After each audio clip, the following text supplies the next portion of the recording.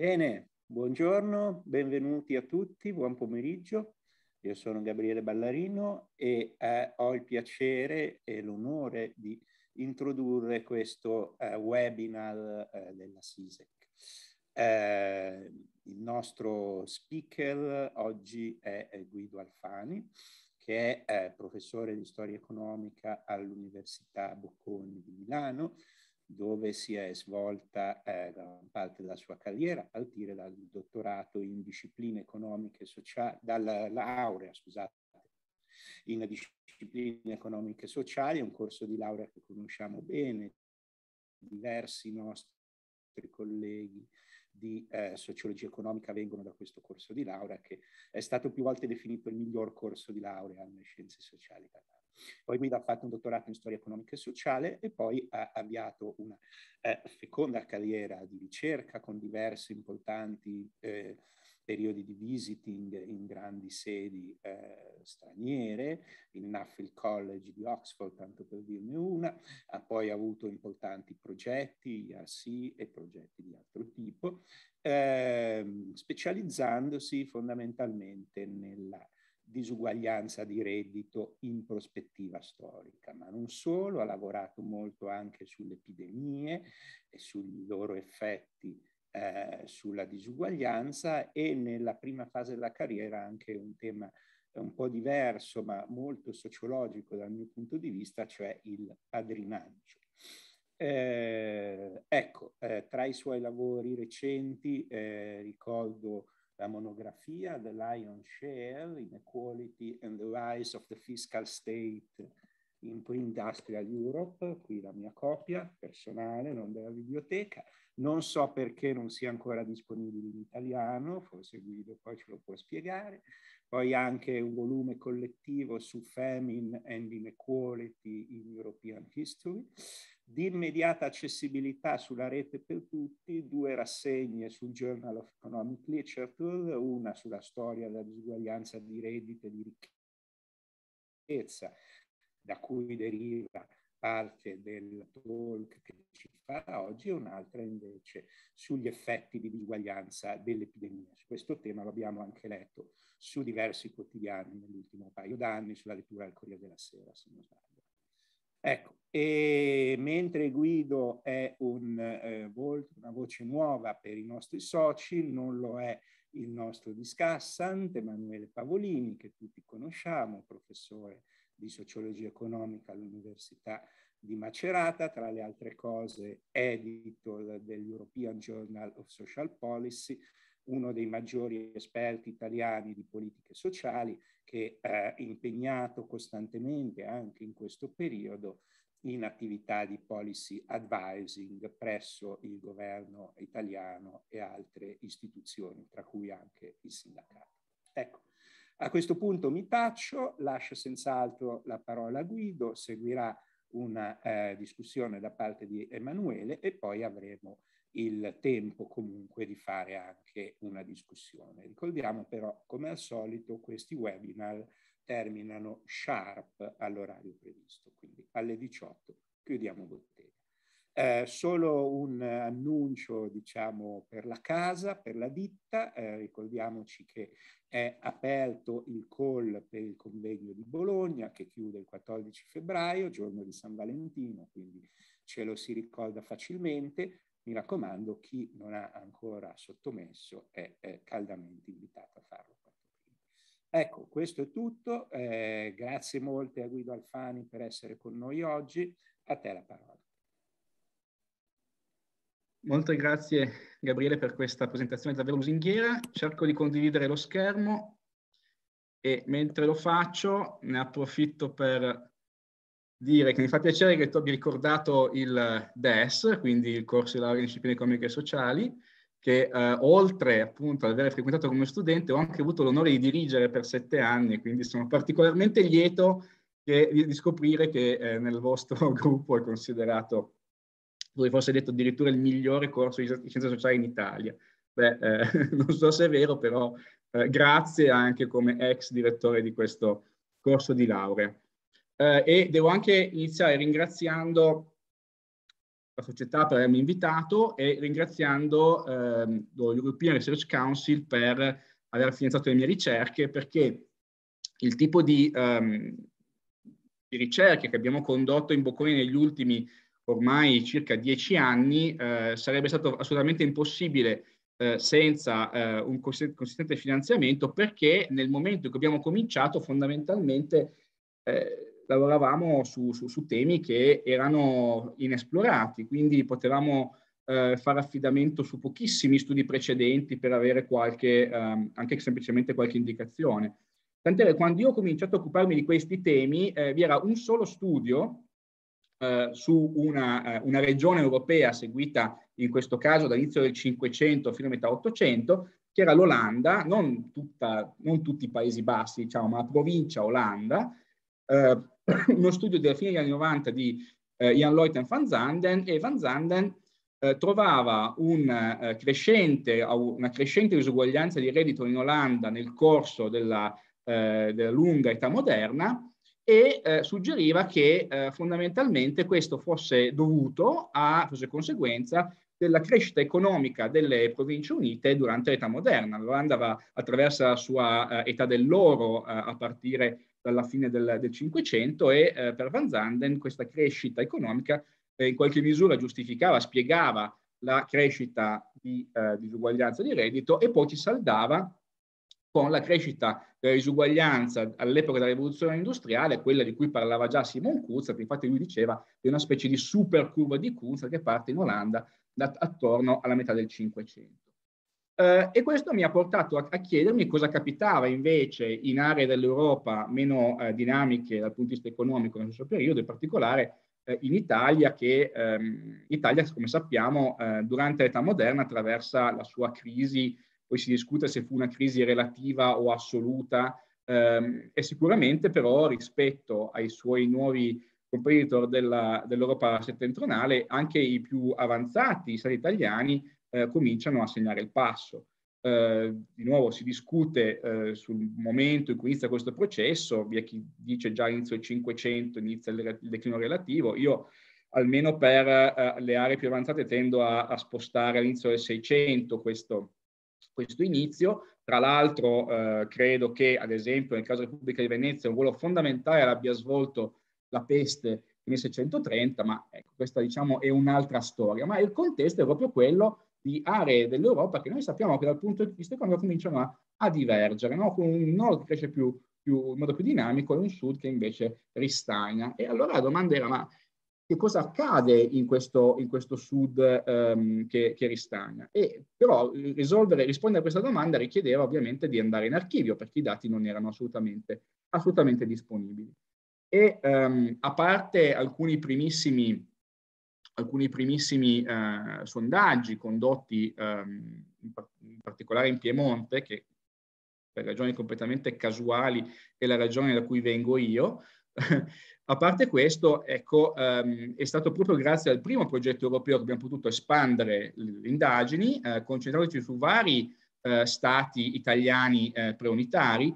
Eh, nella parte sinistra di questa slide vedete i quattro stati di cui vi parlerò oggi, quindi lo Stato Sabaudo, in particolare la regione corrispondente all'attuale Piemonte, perché non abbiamo dati per la parte savoiarda dello Stato, la Repubblica di Venezia, lo Stato fiorentino e poi il Regno di Napoli, ma più in particolare eh, la regione Puglia, perché per la Puglia eh, abbiamo la possibilità di utilizzare fonti analoghe a quelle disponibili per il centro e per il nord, di cui vi parlerò tra breve. A parte ehm, questi quattro stati, vedete varie regioni bianche, varie zone bianche nella mappa, in realtà noi abbiamo coperto tutto il resto dell'Italia, o quasi, eh, semplicemente eh, pubblicare questi risultati richiede molto tempo perché bisogna fare poi un lavoro rilevante sui dati perché vi sono tutte le note eh, lentezze del, del, dei processi che porta a pubblicazione e così via. Però abbiamo dati anche per il Lazio, le Marche, l'Umbria, la Liguria, la Lombardia e anche nel sud per la Sicilia, non per altre regioni della, del sud, a parte appunto Sicilia e, um, e Puglia, perché in molti casi eh, non vi sono le fonti, questo è vero soprattutto per, per, regioni come la Campania, dove la prevalenza della feudalità era eh, molto elevata e quindi le fonti urbane che usiamo noi, farò vedere un caso fra poco, non sono disponibili. Poi per i Paesi Bassi, eh, Van Zandt aveva lavorato sull'Olanda, i suoi dati li abbiamo recuperati in questo caso e abbiamo invece aggiunto i Paesi Bassi meridionali, l'attuale Belgio approssimativamente. Questo è un caso molto interessante perché dopo la rivolta delle Province Unite la seconda parte del Cinquecento rimangono sotto dominio spagnolo, quindi comincia con una divergenza dentro i Paesi Bassi, tra il nord, quindi le province unite olandesi, e il sud, i cosiddetti Paesi Bassi spagnoli. A parte questo abbiamo lavorato anche sulla Germania, sull'Inghilterra, in questo caso eh, i relativi articoli stanno uscendo proprio in questi mesi, finalmente eh, sono arrivati a, a, a pubblicazione. Eh, sulla Catalogna, sulla Francia meridionale, questo invece richiederà ancora un po', un po' di tempo. Però insomma abbiamo una possibilità adesso di comparare molte regioni europee. Io vi farò vedere almeno il caso della Germania, l'Inghilterra no, perché è completamente diverso, e poi tra l'altro lì in quel caso le, le, fonti migliori sono strettamente legate al Medioevo, quindi viene un po' meno possibilità di, poi di affrontare la, l'età moderna e quindi, come dire, saldare le analisi alle dinamiche dell'età eh, contemporanea, quindi all'Ottocento e al Novecento. Per, inoltre, eh, l'Inghilterra dispone di fonti molto diverse da quelle che noi solitamente utilizziamo, che per tutta l'Europa meridionale e anche di fatto per la Germania eh, sono piuttosto simili. Quindi vi è una notevole eh, omogeneità nelle fonti archivistiche che si possono utilizzare, che fondamentalmente sono quelli che si chiamano solitamente estimi, che sono essenzialmente registri della ricchezza tassabile, che include sempre i beni immobili, quindi terre edifici, talvolta include anche altre tipologie, altre componenti della ricchezza, per esempio i capitali investiti in attività commerciali e artigianali. La cosa interessante è che nelle comunità dove le fonti hanno certe caratteristiche, quelle caratteristiche poi permangono per secoli e secoli, cioè la, il, il, il, mutare della fonte nel tempo è molto limitato, specialmente dopo il 400, e è anche molto limitata la varianza tra una comunità e l'altra cosa che agevola parecchio i confronti eh, tra singole comunità di una certa regione o Stato e anche poi in prospettiva tra Stati diversi. In questo caso voi avete ehm, il caso più semplice possibile, nel senso che questo è un estimo eh, di Ivrea del, della prima parte del 600 eh, e vedete che qui in questo caso abbiamo veramente le informazioni minime necessarie. Abbiamo il nome del capofamiglia, e abbiamo il valore complessivo dei suoi beni tassabili. In questo caso manca l'iscrizione dei beni, ma perché questo in, questo in realtà è un registro riassuntivo, hm? per, per semplicità. In alcuni casi, anzi solitamente, abbiamo l'iscrizione completa dei beni e quando siamo molto fortunati abbiamo anche altre informazioni comprese di tipo diciamo, sociodemografico perché nei casi veramente, in questo caso eccezionali, conosciamo anche l'identità di tutti gli altri membri del, della household, quindi del nucleo familiare, e la loro età e anche la loro relazione con il capofamiglia. Quindi qui, come dire, esiste la possibilità di fare anche dei lavori molto microanalitici che però al momento abbiamo lasciato da parte perché siamo ancora in una fase in cui ci concentriamo sulla, come si dice in inglese, la big picture, perché fondamentalmente ehm, è lì che eh, bisogna chiarire alcune cose fondamentali, a mio parere. Comunque queste altre cose poi arriveranno.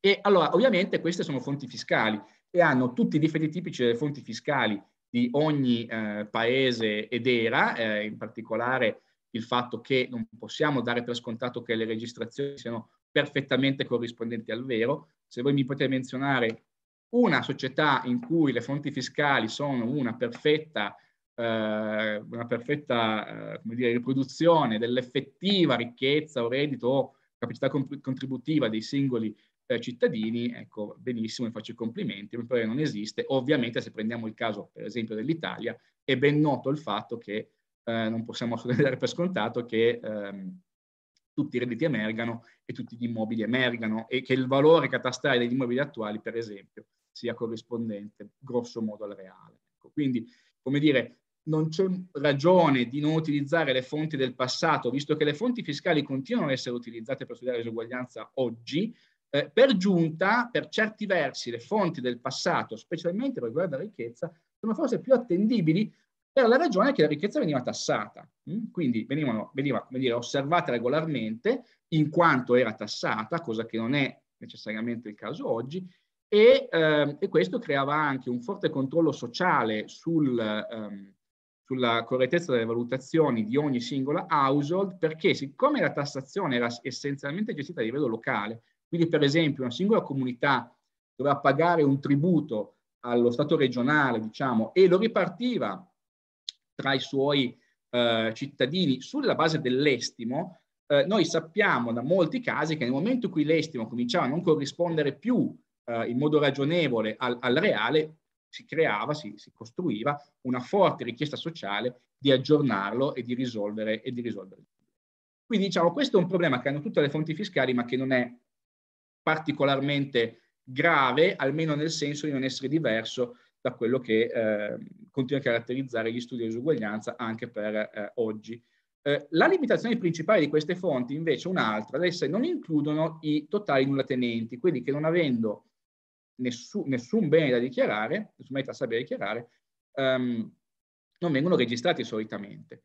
Ora, questo però appunto solitamente, in alcuni casi vengono registrati, quando vengono registrati scopriamo che sono piuttosto pochi, diciamo tra il 4 e il 7-8% delle household tendono a mancare, e questo è perché anche chi aveva delle, dei, dei, beni molto limitati, per esempio una frazione, una frazione di vigna o un piccolo orto, era registrato. Okay? Quindi tutti quelli che avevano anche piccolissimi beni venivano registrati. Um, e di fatto questo, questo, comporta che tutte le stime della disuguaglianza, noi possiamo calcolare sulla base delle distribuzioni osservate, tenderanno a essere distorte verso una disuguaglianza leggermente inferiore al reale, ma leggermente inferiore.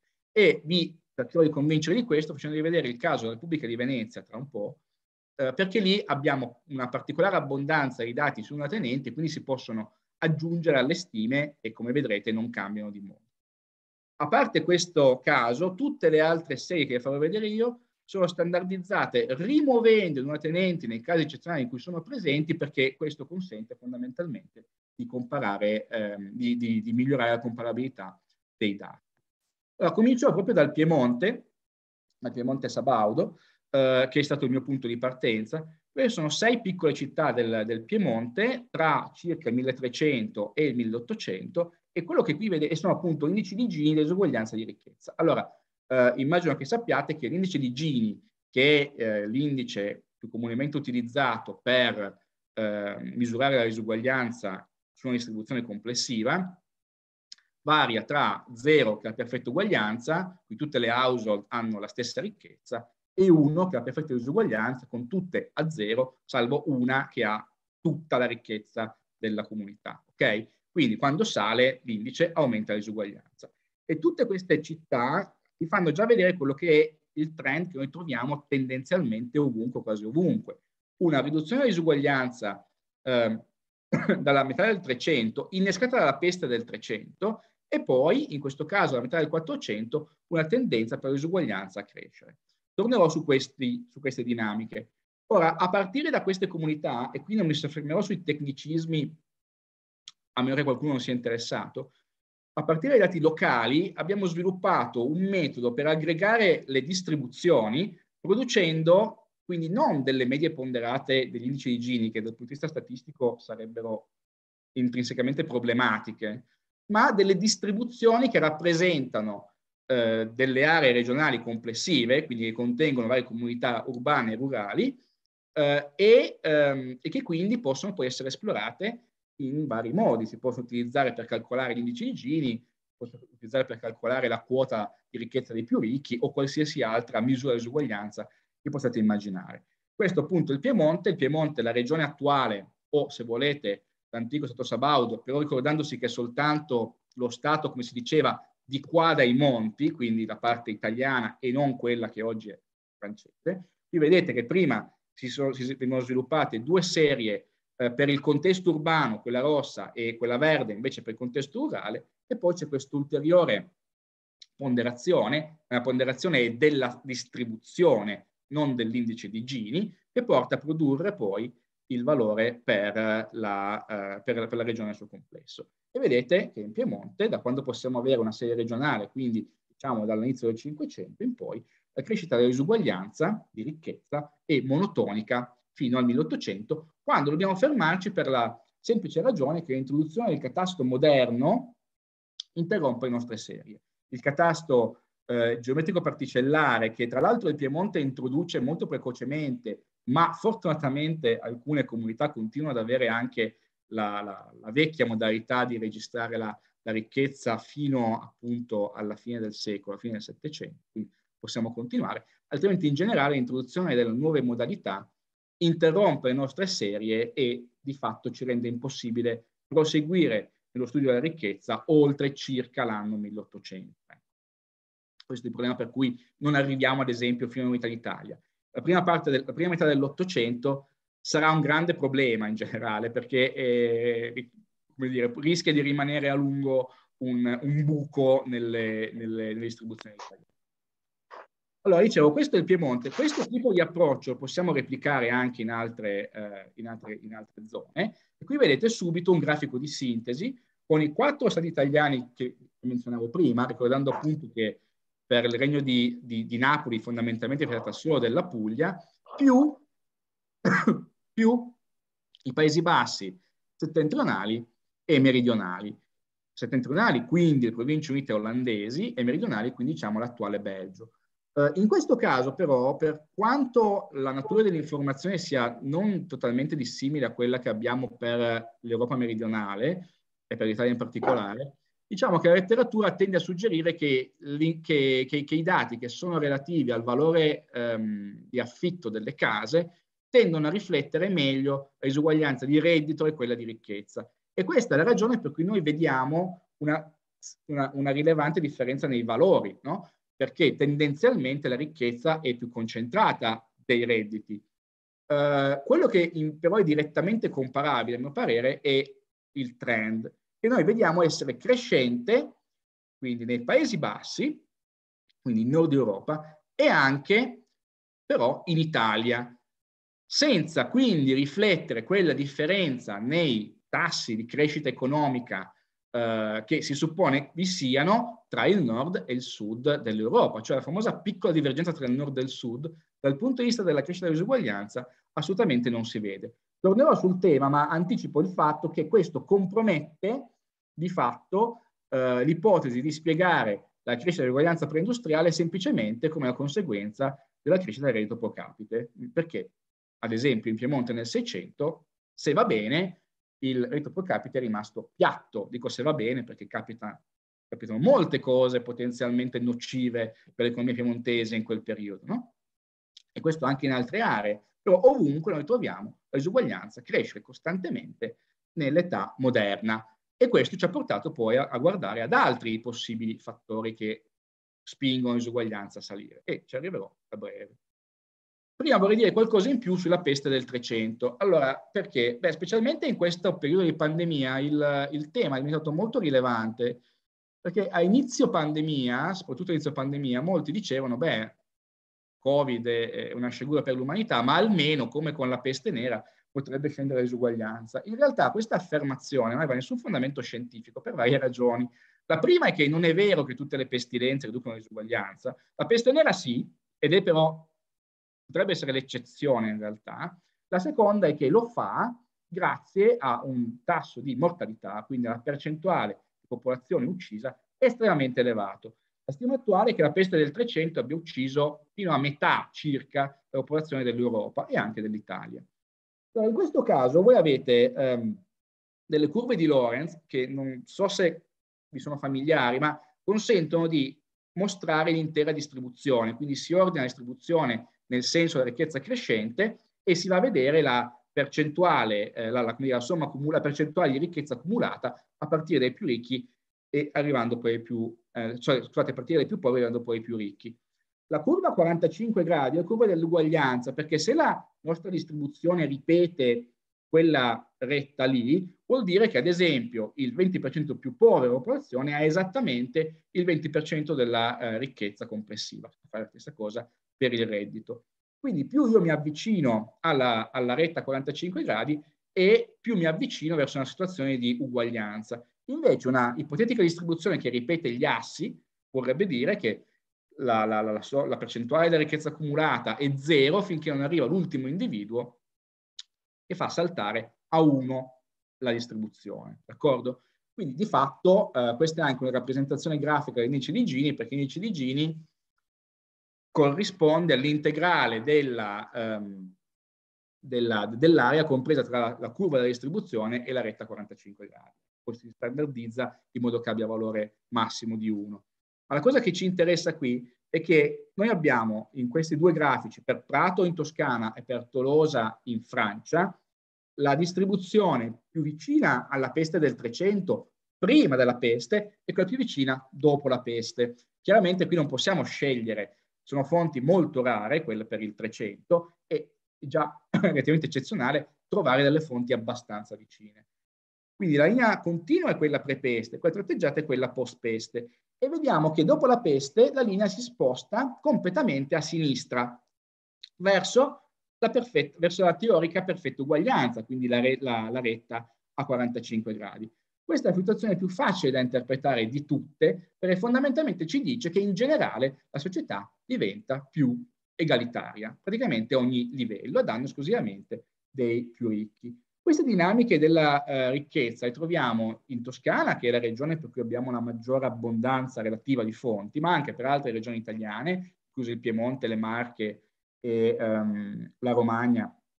E troviamo anche per la Francia meridionale e abbiamo indicazioni analoghe anche per la Germania, per quanto in Germania non abbiamo fonti immediatamente pre-peste, ma possiamo osservare le dinamiche nel, già dal cinquantennio successivo alla peste del 300.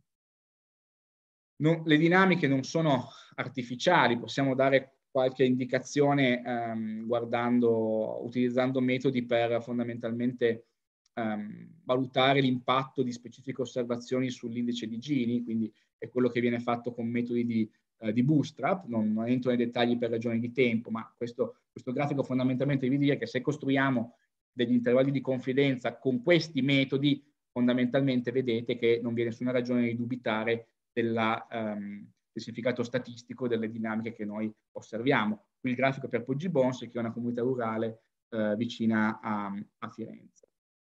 Tra l'altro, in virtualmente tutti i casi per cui possiamo osservare l'usuguaglianza prima e dopo la peste del 300, sempre di ricchezza, troviamo una riduzione della disuguaglianza. L'altra cosa che troviamo, e questo è il progetto in corso, è un aumento della mobilità sociale, misurata in questo caso come, come percentuale di household che si muovono tra eh, quintili di ricchezza, quindi è una um, mobilità misurata in termini eh, relativi, e vedete che eh, dopo il 1348, quindi l'anno della peste, vi è un nettissimo aumento della mobilità sociale che perdura per circa due generazioni, quindi, come dire, è un impatto significativo e anche, eh, e anche di lunga durata. Ovviamente questo sembra andare molto bene assieme alla riduzione dell'usuguaglianza che abbiamo misurato prima. Tecnicamente eh, è molto più complicato studiare vita sociale, voi sicuramente lo sapete, perché ci obbliga a, al gravosissimo eh, compito, gravosissimo specialmente per il 300, di cercare di collegare in modo nominativo le household, le famiglie di una fonte fiscale a quelle di un'altra fonte fiscale. Quindi il problema è poterle seguire nel tempo. Cosa stiamo facendo per varie eh, parti dell'Europa? Per far vedere un solo altro grafico sulla mobilità eh, essenzialmente per ragioni di tempo e anche perché si tratta di dati ancora molto più provvisori. Quello che vi dicevo è relativo specialmente, specificamente all'isuguaglianza di ricchezza. Per quanto riguarda il reddito non abbiamo distribuzioni, però vi sono indicazioni di altro genere che suggeriscono che la disuguaglianza di reddito sia anch'essa diminuita. In particolare vi è una letteratura piuttosto consistente circa l'aumento dei salari reali dopo la peste del 300. Allora, se noi immaginiamo un, un contesto in cui la metà degli abitanti dell'Europa muore, è facile immaginare perché i salariali possono essere aumentati. Il lavoro è diventato scarso. Quindi i lavoratori sono trovati ad avere per un periodo il coltello dalla parte del manico, che vuol dire che avevano un, un potere negoziale più forte e quel coltello l'hanno anche utilizzato. Eh, vi sono molte evidenze nei contratti pre-post, pre-post eh, anche, non necessariamente in città, ma anche ad esempio nei contratti di eh, di mezzadria in Toscana, che i lavoratori riescono appunto a strappare condizioni, eh, condizioni migliori. Nonostante delle resistenze, perché per esempio di nuovo in Toscana sono piuttosto diffuse, magari questo inter- interesserà alcuni di voi, delle leggi introdotte subito dopo la peste per contrastare quelle che erano ritenute le illegittime richieste dei lavoratori. Si chiamano infatti leggi contra laboratores, quindi contro le illegittime richieste dei lavoratori. Qual è il problema? Che ovviamente non, non riescono a essere efficaci nel medio-lungo periodo perché a fronte a scarsità di forza lavoro, se il mio Stato mi eh, impedisce di avere un reddito più elevato cui potrei facilmente aspirare, me ne andrò semplicemente, migro, vado da un'altra parte e quindi di fatto questo compromette questi tentativi. Ma le istituzioni hanno cercato proprio di contenere questa uh, redistribuzione dei redditi abbastanza attivamente, fallendo.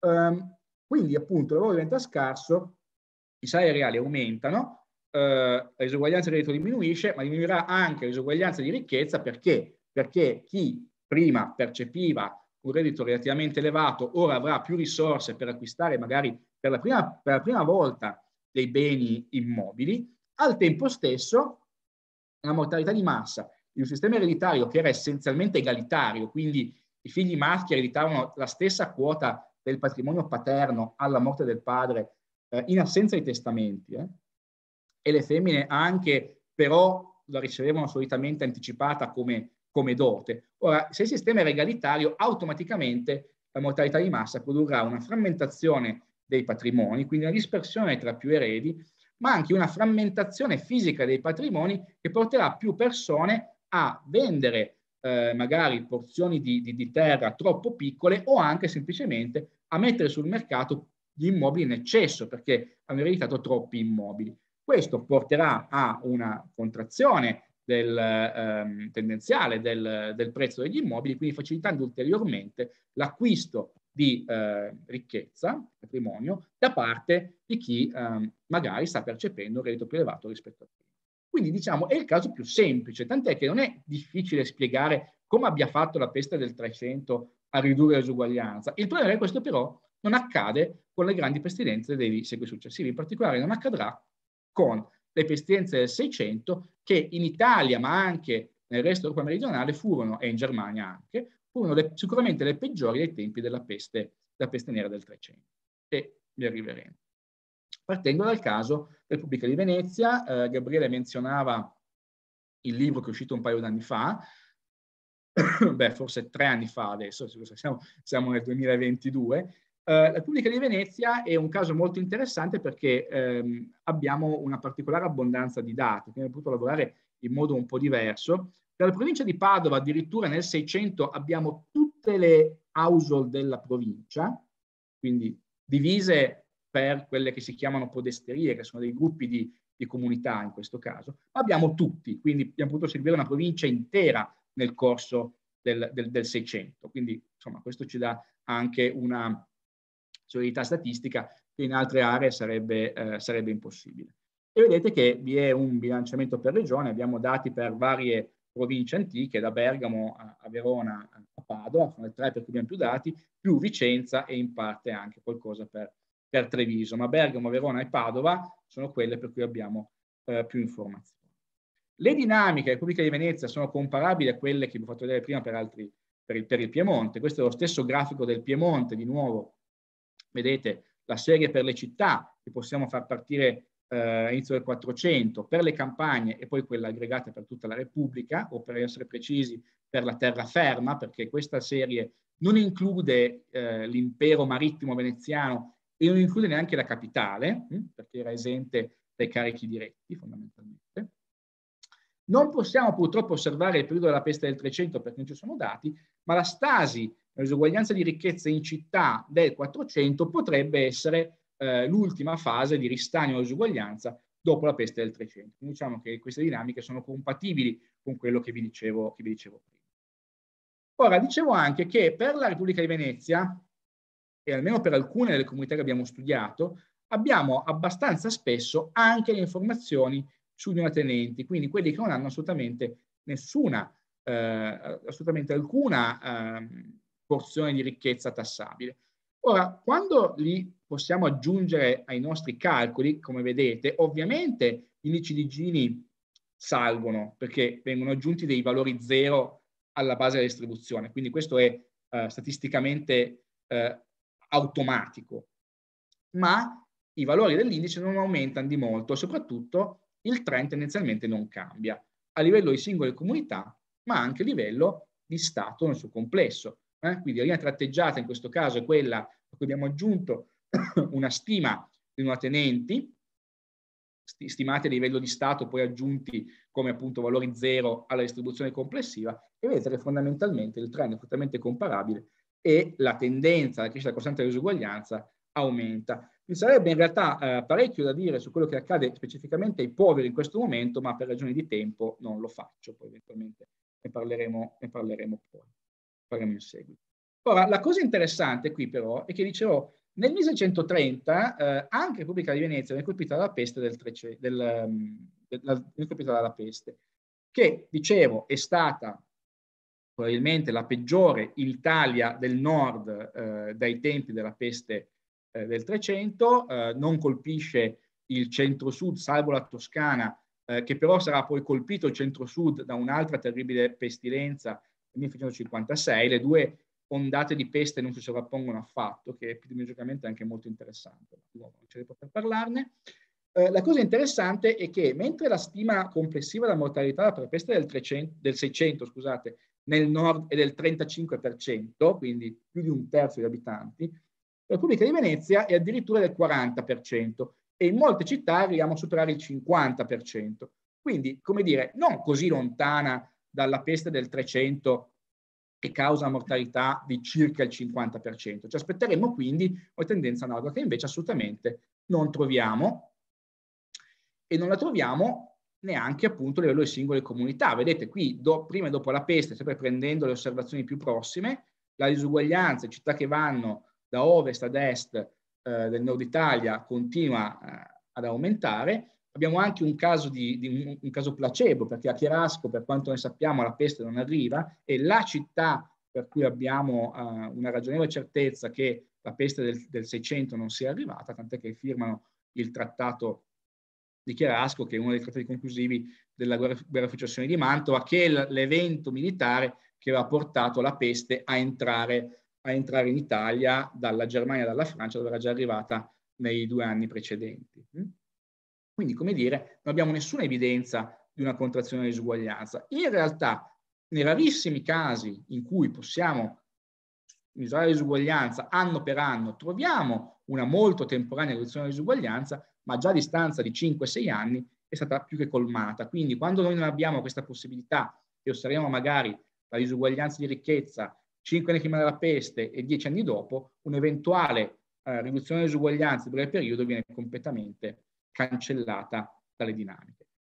La cosa interessante è che questa è la ricchezza, ma se guardiamo i redditi, quindi i salari reali, troviamo la stessa cosa. Quindi a sinistra avete il caso della peste, della peste del 300, a destra avete il caso della pestilenza del 600, eh, tra l'altro anche specificamente a Milano, dove la mortalità stimata per la peste del 600 è oltre il 50%, e ho messo anche Valencia, che è colpita con una mortalità, mi pare, di circa il 40% nel 1947-48, e per entrambe le città noi abbiamo le, le, le serie dei salari reali locali, vedete che non vi è alcuna, alcun incremento dei salari reali. Quindi di nuovo non abbiamo, non abbiamo quell'impatto sul mercato del lavoro che ci aspetteremmo se immaginassimo che la dinamica è uguale a quella della peste del 300 perché i livelli di mortalità sono comparabili.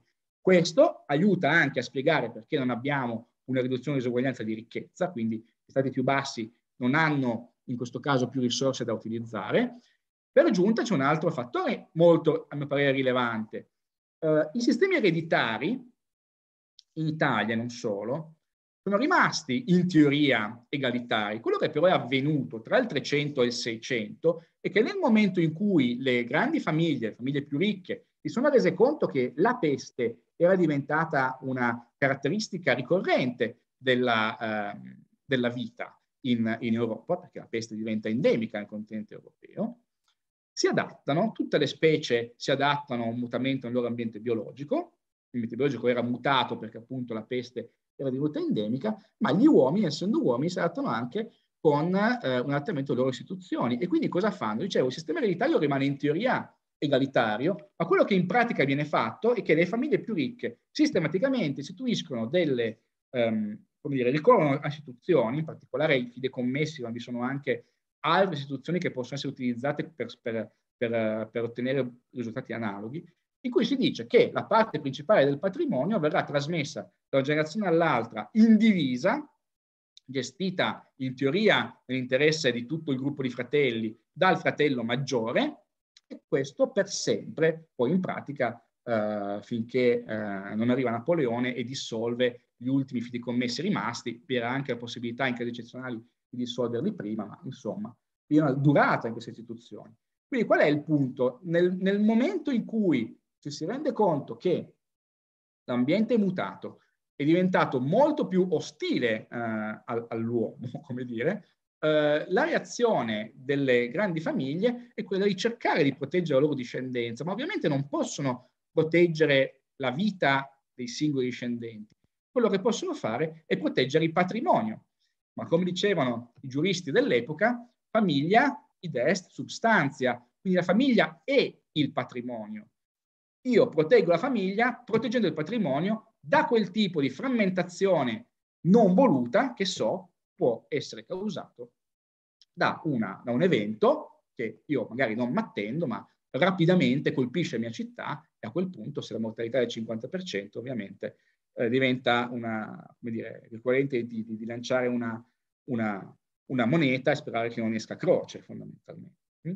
Quindi questo anche è mutato e nella, nella storiografia sui sistemi ereditari, noi, eh, a partire proprio dai, in questo caso dai, dai, dagli atti notarili, noi vediamo che c'è una intensificazione nel ricorso ai fidecommessi proprio dopo la peste del 300 che viene interpretata come una reazione rispetto all'arrivo della peste in Europa. Quindi il contesto è completamente diverso. L'altra parte della storia è che in questo momento la concorrenza dei eh, paesi nord Europa è eh, molto più accentuata, quindi, come dire, la peste del 300 nella mia interpretazione, la piccola divergenza, diventa anche il momento in cui eh, molti che hanno cercato di, di tenere botta fondamentalmente, di, di, tenere il passo alla concorrenza, gettano la spugna e quindi noi abbiamo un eh, crollo nella offerta di lavoro perché molti lavoratori sono morti, ma abbiamo anche un crollo nella domanda di lavoro perché fondamentalmente alcune famiglie mercantili, per esempio, decidono di abbandonare la mercatura, di abbandonare l'industria sostanzialmente e si mettono a investire, guarda caso, nella terra,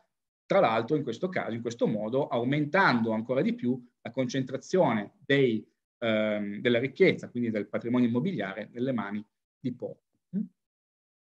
Per quanto riguarda la sociale troviamo una storia analoga. Questa è Ivrea, eh, di nuovo per ragioni assolutamente casuali, Ivrea è eh, il posto da cui vengo io e per ragioni assolutamente casuali è la prima comunità che eh, ho studiato, ma è per ragioni in questo caso veramente assolutamente casuali è probabilmente al mondo una delle comunità che ha le fonti migliori per questi studi, perché uno dei pochissimi casi in cui è possibile seguire la, eh, misurare l'usuguaglianza di ricchezza di tutti, fondamentalmente, in teoria giorno per giorno, dall'inizio del 600 alla fine del secolo. Io l'ho fatto anno per anno e chiaramente, e, e oltretutto, mi è anche molto, molto facile collegare nominativamente le famiglie, in questo caso, e qui vedete un grafico ancora provvisorio che va raffinato anche nella misura della mobilità sociale, sempre misurata come ehm, percentuale di famiglie che si muovono tra quintili della distribuzione di ricchezza. E il fatto è che noi vediamo un picco nel 30-32, quindi legato proprio all'evento peste, ma poi vedete che viene subito riassorbito e la tendenza nel 600 è per una mobilità sociale declinante nel corso del secolo, nonostante questa botta di mobilità causata dalla peste. Ora, a Ivrea si può studiare anche anno per anno uguaglianza di ricchezza, troviamo una, eh, una riduzione dell'uguaglianza di brevissima durata, già colmata dopo 5-6 anni, esattamente lo scenario che vi dicevo prima, se io non ho fonti sufficientemente vicine all'evento, non sono in grado di vedere, suo, di vedere, alcun impatto in questo caso. Ma la cosa importante è che eh, l'impatto sulla vita sociale della peste del 600 a Ivrea, ma anche ad esempio a Verona, che è una grande città che abbiamo studiato proprio in questa prospettiva, stiamo studiando perché sono ancora provvisori, um, non è assolutamente comparabile a quell'aumento che dura per due generazioni che abbiamo trovato per la peste del 300. Quindi di nuovo abbiamo un ulteriore indizio del fatto che il contesto è fondamentale. Non possiamo semplicemente presumere che, data la, da, dato che il morbo, il patogeno è lo stesso, la mortalità è comparabile, l'esito in termini distributivi sarà il medesimo. Tra l'altro non solo distributivi, ma anche in termini, ad esempio, di, di stimolo o danno alla, all'attività economica nel lungo periodo. Hm? Sono state storie completamente diverse. Uh, il contesto è fondamentale, il contesto istituzionale in particolare è fondamentale e media l'impatto della, um, dello, dello, shock causato in questo caso dalla peste. Uh, allora, uh, a parte, dicevo, questo, um, questo momento, come dire, è considerato, eh, e anche considerato questo, questo, questo shock, vedete che la disuguaglianza nella Repubblica di Venezia, ma anche in Piemonte e altrove, aumenta nel corso del Seicento. E in, in, aumenta in generale nel corso di tutta l'età moderna. La parziale eccezione a livello europeo è quella della Germania, perché in Germania abbiamo di nuovo la peste, la stessa peste che colpisce il nord Italia nel 1630, ma lì inizia eh, un po' prima.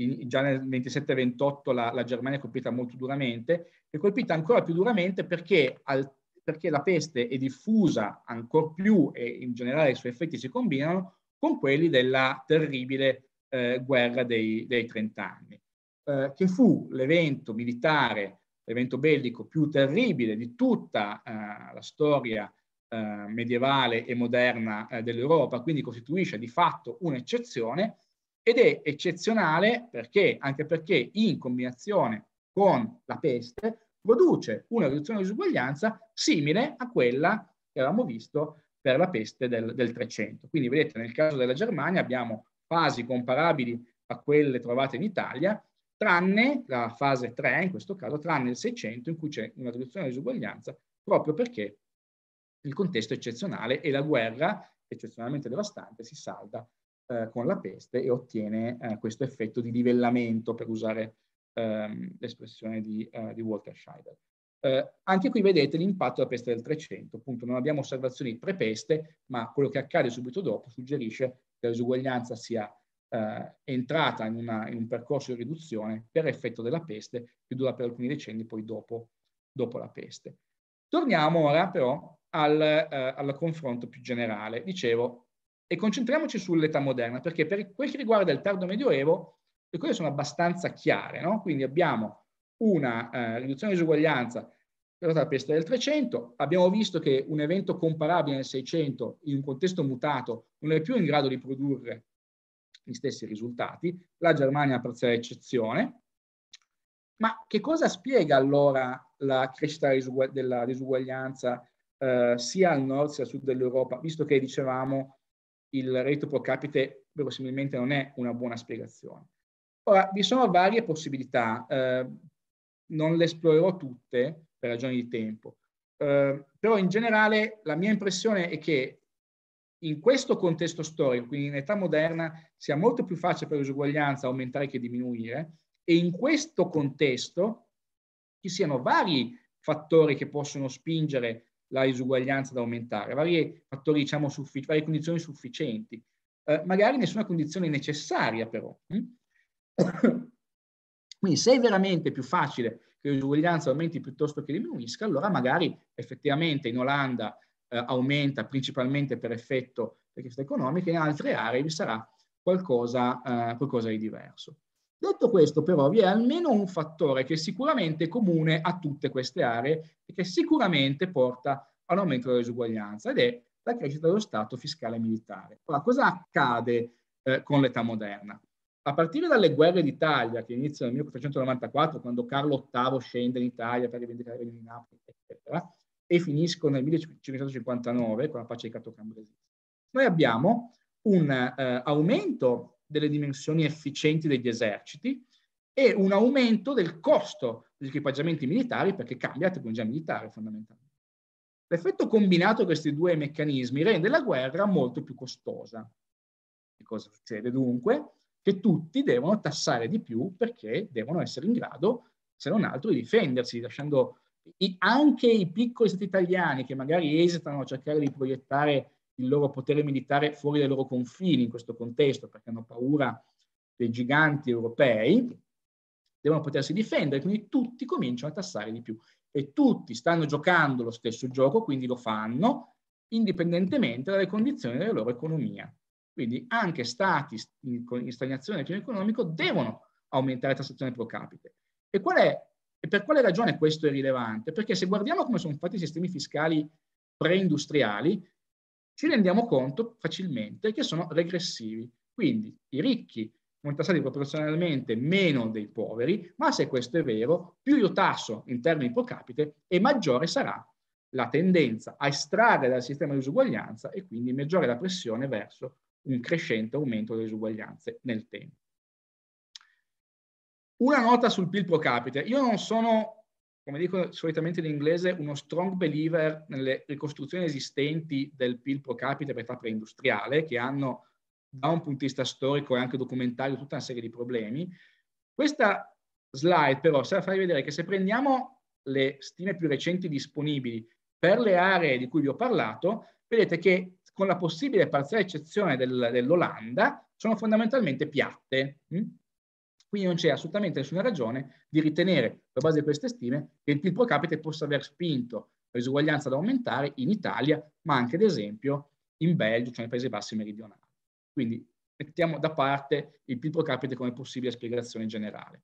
Invece, noi abbiamo la crescita della pressione fiscale pro capite, misurata in termini più o meno comparabili per diverse parti dell'Europa, e vedete che ovunque aumenta, perché tutti giocano lo stesso gioco.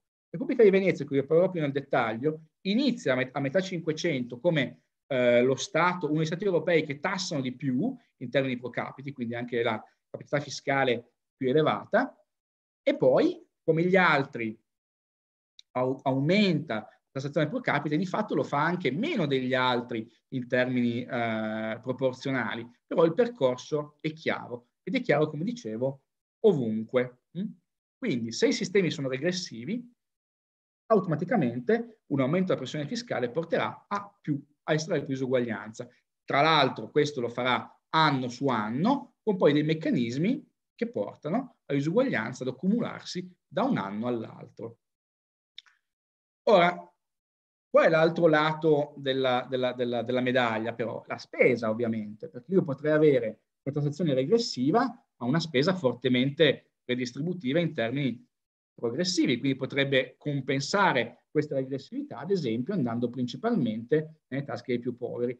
Purtroppo non è questo il caso, non è questo il caso perché la ragione per tassare di più è fondamentalmente pagare le spese militari di difesa, che a mio parere tendono uh, a, a, concentrarsi, uh, quindi ad aumentare l'usuguaglianza perché concentreranno in certe parti della popolazione. Questo poi è relativamente difficile da dimostrare. Quello che è più facile dimostrare è che eh, l'altra voce che cresce moltissimo in questo periodo, che è la, la, il servizio del, debito pubblico, questo invece sicuramente porta ad aumentare la disuguaglianza perché il debito pubblico è posseduto in, da, da, da, privati ed è estremamente concentrato. Lo è sempre stato. Eh, in età preindustriale e quando possiamo misurarlo è la componente della ricchezza più concentrata più della terra, fondamentalmente.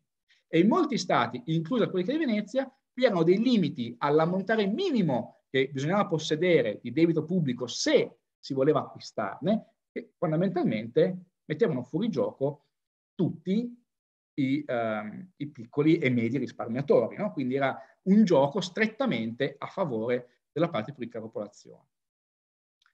Per la Repubblica di Venezia ho cercato nel, nel libro con Matteo Di Tullio di ehm, guardare come funzionava in pratica questo sistema, ricordando una serie di fattori.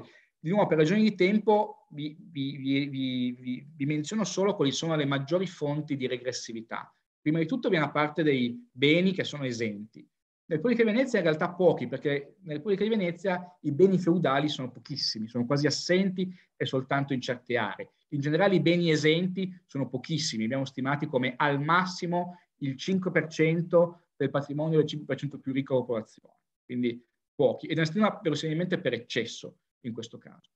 È molto più importante però il fatto che la tassazione fosse prevalentemente indiretta, quindi sui consumi, o per meglio dire, noi la mettiamo tutta sui consumi, ma anche quella sui transiti alla fine si può immaginare venga scaricata sul consumatore finale. E come sappiamo questo tende a renderla regressiva, perché fondamentalmente per una estensione della legge di, di Engel, eh, che dice che la, la, la, quota di reddito ehm, consumato per beni di prima necessità tende a diminuire all'aumentare del reddito, ma in generale il punto è che se io immagino che la, il, il tasso di risparmio aumenti all'aumentare del reddito, allora io avrò che chi sta sotto una certa soglia, vicino a sussistenza, dovrà per forza consumare il 100% del suo reddito e quindi sarà tassato sul 100% del suo reddito in questo modo, quindi indirettamente.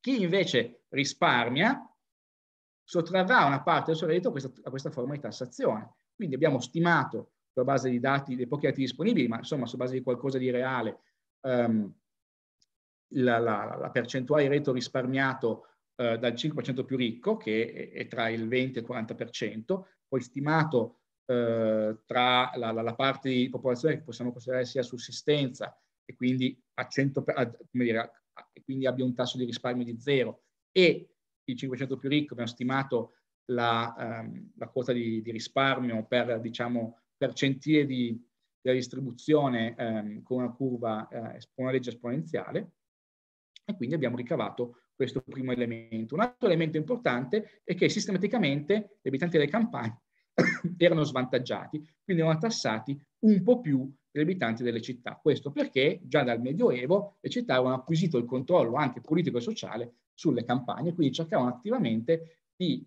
spostare il peso fiscale dagli abitanti delle città appunto a quelli delle campagne, diciamo più o meno soggette alla primazia della, della città. Uh, l'altra cosa che facciamo, che vale la pena menzionare, è che per semplicità utilizzo la stessa distribuzione per ricchezza e reddito. Questa è un po' una forzatura, una bella distribuzione del reddito. Si potrebbero distinguere un po' le due, ma se lo faccio, posso con ma molta maggiore facilità mostrarvi i dati e lo farò tra breve. Questo grafico qui è semplicemente relativo alla imposizione del prelievo, vedete la linea nera è la percentuale di tassazione indiretta. Ah, tra l'altro, tassazione diretta è esclusivamente sulla ricchezza ed è effettuata tramite gli estimi, quindi esattamente tramite la fonte che noi utilizziamo. Quindi in questo caso possiamo veramente vedere in modo, in modo molto, molto preciso su chi, su chi grava e quanto. E se mettiamo assieme le varie ipotesi possiamo arrivare ad, una, ad un insieme di ipotesi meno regressivo, che fondamentalmente vuol dire che eh, i, i, ricchi risparmiano un po' meno e gli abitanti delle campagne sono danneggiati un po' meno in termini relativi, cioè indirettamente abitanti delle città, o più regressivo, quindi i ricchi risparmiano di più e gli abitanti delle campagne sono più danneggiati. Quindi due ipotesi e l'idea è che magari la realtà stia nel mezzo. Il fatto, come dicevo, di aver usato entrambe eh, la, la stessa distribuzione per ricchezza e reddito mi permette di arrivare a una stima della pressione fiscale complessiva per percentile della ricchezza come somma di quella indiretta e quella diretta. Eh? Quindi non commenterò tutto il resto. Qui avete evidenziato in questa tabella il totale. Ora, noi sappiamo che al 1550, da una stima indipendente, la pressione fiscale dello Stato centrale della terraferma veneziana era circa il 5% del prodotto. Il 5% l'ho redistribuito per decile, considerando la struttura della tassazione, e arriviamo a dire che il 10% più povero pagava tra il 5,4 e il 6% del proprio reddito come tasse Stato centrale il 5% più ricco soltanto tra il 3,9 e il 4,4. È una differenza piuttosto rilevante, specialmente perché è ciò che accade anno dopo anno dopo anno per secoli. Ora, però, come è possibile che il sistema stia in piedi senza avere una rivoluzione per le mani? Beh, sta in piedi perché i ricchi pagano più tasse dei poveri. Il 5% più ricco paga quasi la metà di tutte le tasse. Il problema è che aveva anche più della metà di tutta la ricchezza e guadagnava anche più della metà di tutto il reddito. I più poveri di fatto contribuiscono in termini totali molto poco perché sono protetti dalla loro povertà, non hanno capacità fiscale. Mm? In questo contesto socioculturale è sufficiente che i ricchi paghino più dei poveri perché il sistema sia considerato accettabile. E questo è ciò che accade. Tra l'altro è anche accettabile perché i poveri non sono lasciati a morire di fame, i ricchi restituiscono qualcosa tramite la loro carità, hm? che è mediata da un sistema eh, di beneficenza complesso che poggiava su quelle che chiamavano confraternite all'epoca, tramite cui parte delle risorse poi tornava dal vertice alla base della società. Nessuno moriva di fame, la pace sociale era accettata, ma proprio perché l'idea era che fosse sufficiente per ottenere una certa giustizia del sistema che i ricchi pagassero più dei poveri, non proporzionalmente più dei poveri, che è quello che almeno molti in Occidente ritengono dovrebbe essere il caso oggi nel contesto di una democrazia occidentale. Cosa peraltro interessante è che quei ricchi eh, in Occidente che oggi eh, sostengono che non serva un, aumento della tassazione sui ricchi perché già pagano molte tasse, fondamentalmente fanno un discorso totalmente compatibile con quello che farebbe un patrizio veneziano attorno a metà del Cinquecento. Che poi questo sia un discorso che noi possiamo considerare o no legittimo e accettabile è tutto un'altra questione. Ora, questo è, come dire, quello che noi vediamo andando a, fare andando a vedere la differenza tra la percentuale di ricchezza posseduta e reddito guadagnato e la percentuale di tassa pagata. Questo grafico vi dice che fondamentalmente in questo sistema gli unici avvantaggiati sono i più ricchi, il 5% soprattutto, ma anche il, il, um, il 5% successivo. Quindi fondamentalmente il 10% più della popolazione è avvantaggiato in termini relativi. Tutti gli altri tendenzialmente pagano più tasse in proporzione rispetto a quelle che dovrebbero pagare il sistema fosse proporzionale, non progressivo. Ok? Questa è la differenza rispetto alla teorica proporzionalità, che non è assicurata. Molti erano convinti che fosse assicurata perché, ad esempio, la tassazione diretta era in teoria proporzionale alla ricchezza, salvo che poi appunto c'erano i beni privilegiati che non pagavano però ma va bene. Mm? L'altra cosa rilevante qui è che i gruppi che sembrano essere colpiti più duramente dal sistema sono i gruppi intermedi, quindi il ceto medio dell'epoca, se vogliamo usare impropriamente questa definizione. Sono i più poveri, perché i più poveri pagano pochissimo, pagano pochissimo perché non hanno capacità fiscale. E il fatto è che se questo è vero, allora si capisce perché nel corso dei secoli, questa è metà del Cinquecento, noi vediamo un progressivo svuotamento del ceto medio e una polarizzazione della ricchezza. Fondamentalmente chi sta in mezzo a metà 500, dato che poi la tassazione com- comincerà ad aumentare perché c'è lo sviluppo dello Stato fiscale militare, siccome la guerra diventa molto più costosa, eccetera, eccetera, chi sta in mezzo o riesce ad andare a, a spostarsi al vertice, quindi a proteggersi dal sistema, riuscendo anche di fatto a controllare in parte il sistema, oppure tenderà a essere sparato verso il basso. Se noi facciamo evolvere il sistema e guardiamo cosa accade ehm, nei due successivi, allora la struttura del sistema non cambia molto, quello che cambia è chiaramente la distribuzione sottostante e vediamo che apparentemente lo svantaggio patito da tutti, tranne i più ricchi, si diminuisce e il vantaggio dei più ricchi anche diminuisce. Ma questo perché accade? Accade semplicemente perché la disuguaglianza è aumentata. Quindi qual è il punto? Che se io immaginassi di continuare questa dinamica all'infinito, arriverei alla fine alla perfetta proporzionalità, ma sarebbe una società in cui, in cui soltanto il 5% più ricco ha beni o reddito, perché tutti gli altri sarebbero fondamentalmente a zero. Mm? Perché il sistema continua a concentrare la ricchezza nelle mani dei più ricchi. La quota di tasse pagate dai più ricchi continua ovviamente ad aumentare, ovviamente sempre per ipotesi arriveremmo alla fine di un ipotetico percorso coloro che pagano tutto ma possiedono anche tutto, quindi di nuovo cerchiamo di immaginare che cosa vuol dire questo anche per alcuni dibattiti attuali. E dicevo, quello che non sappiamo, non siamo riusciti a stimare è quanto cambi la spesa privata in beneficenza. Probabilmente aumenta, compensando in parte questo declino dell'accesso effettivo risorse, alle risorse ehm, dei più poveri, perché noi sappiamo che viene garantita, viene conservata una certa stabilità sociale nella Repubblica di Venezia. Quindi l'accesso alle risorse dei più poveri non cambia in pratica molto all'aumento della disuguaglianza, perché non sono lasciati morire di fame. Il problema però è che dipendono sempre più dal benvolere dei ricchi, cioè un sistema in cui sono sempre più socialmente, economicamente e anche politicamente, ma questo forse cambia di meno, dipendenti dai vertici della società. Mm? In un sistema che evolve in direzioni che noi possiamo considerare eh, magari non auspicabili. E io ho anche un po' volutamente presentato eh, il funzionamento del sistema in modo un po', un, un po' duro, che però di fatto sembra corrispondere molto bene alle dinamiche che osserviamo.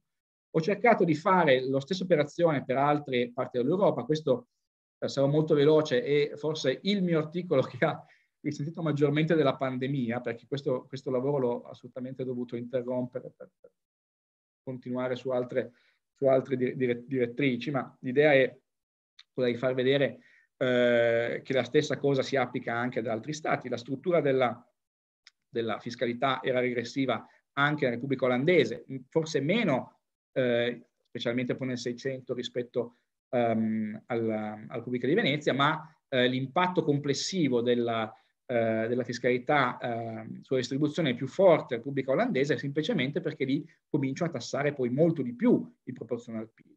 E poi anche la Francia meridionale e altri stati che stanno progressivamente aggiungendo.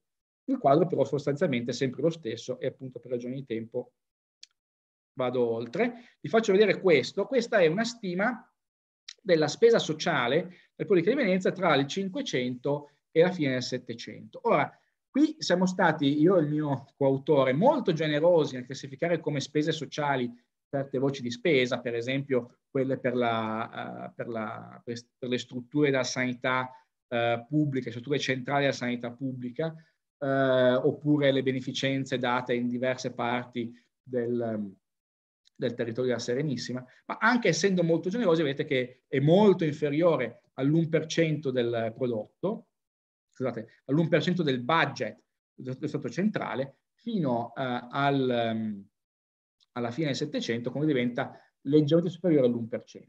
La parte del leone la fanno invece le spese per il militare e per la difesa e il servizio del debito pubblico, secondo le modalità di cui vi parlavo prima. Quindi diciamo non c'è nessuna ragione di pensare che la spesa sociale abbia compensato la tendenza all'aumento della disuguaglianza che ehm, risulta dal funzionamento del sistema fiscale.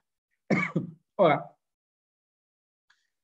questo salto perché abbiamo già parlato, un altro modo di vedere questi, di vedere questo, questi meccanismi è considerare eh, quella che si chiama ehm, l'estrazione della disuguaglianza e la curva della disuguaglianza massima possibile. Quindi l'idea è questa, noi non, non, arriveremo mai veramente a un indice di Gini di 1, specialmente ragionando in termini di reddito. Per questo vorrebbe dire che tutti sono morti di fame, tranne una famiglia o un individuo. Quindi il punto è che il, il, il valore massimo dell'indice di Gini, che noi possiamo realisticamente immaginare sia tutta la società, corrisponde a una situazione in cui tutti ricevono sussistenza, tranne una famiglia o individuo che riceve tutto il surplus sopra la sussistenza.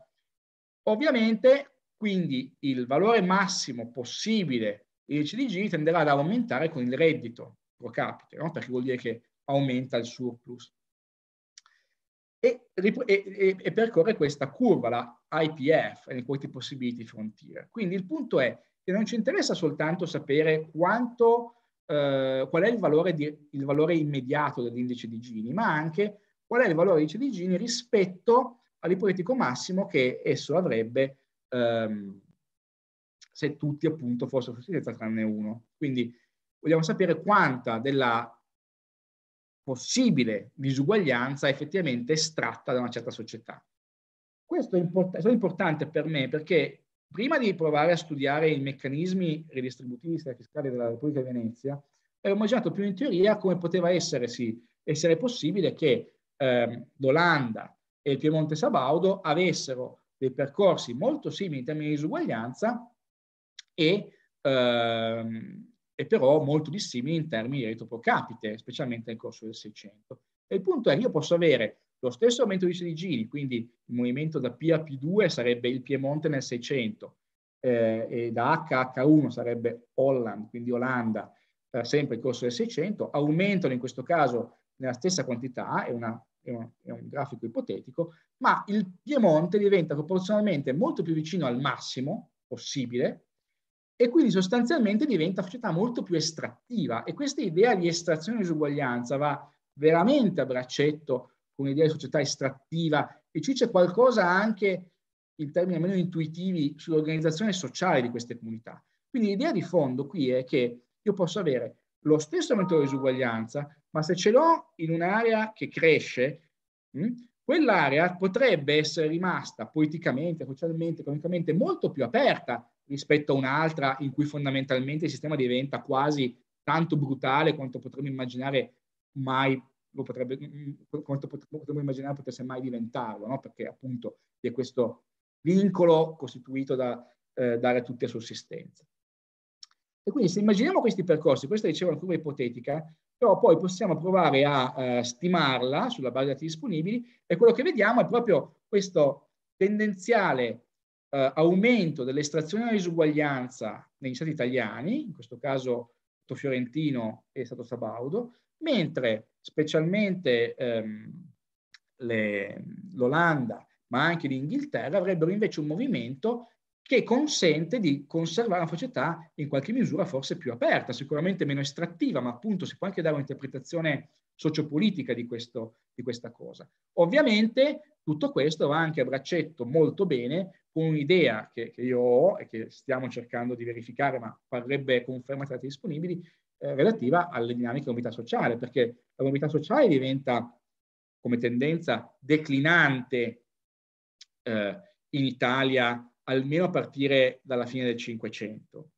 Um, ma in, uh, in, Olanda, nei Paesi Bassi, sembra essere molto più uh, facile per tutto il resto dell'età moderna. Quindi questo è un altro elemento di differenziazione tra questi diversi contesti storici che non potremmo, non potremmo cogliere quando soltanto alle dinamiche della disuguaglianza, ma dobbiamo andare a vedere cosa quei numeri, quegli ciligini vogliono dire in pratica rispetto a quella specifica. Faccio vedere un ultimo grafico e poi mi fermo, perché penso di parlato fin troppo.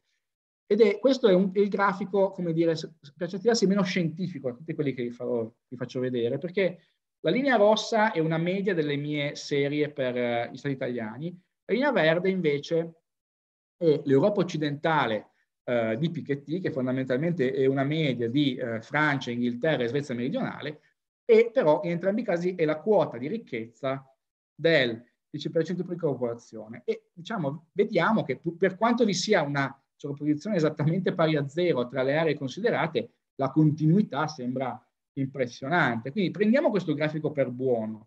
Ma cosa ci dice? Beh, ci dice fondamentalmente che c'è una tendenza di lunghissimo periodo, fondamentalmente più di sette secoli, eh, della disuguaglianza di ricchezza ad aumentare, interrotta soltanto da due terribili catastrofi, la peste del 300 e la prima e seconda guerra mondiale e tutto quello che accade in mezzo nel XX secolo.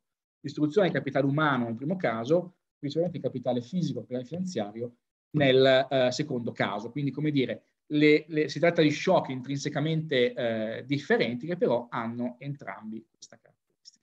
Allora, una possibilità, eh, una possibile interpretazione di questo grafico è piuttosto ehm, pessimista ed è quella che ne, darebbe, ne ha dato in effetti eh, Walter Scheider, dando fondamentalmente i dati che vi faccio vedere io per l'Italia, e cioè che soltanto le catastrofi possono ridurre la disuguaglianza.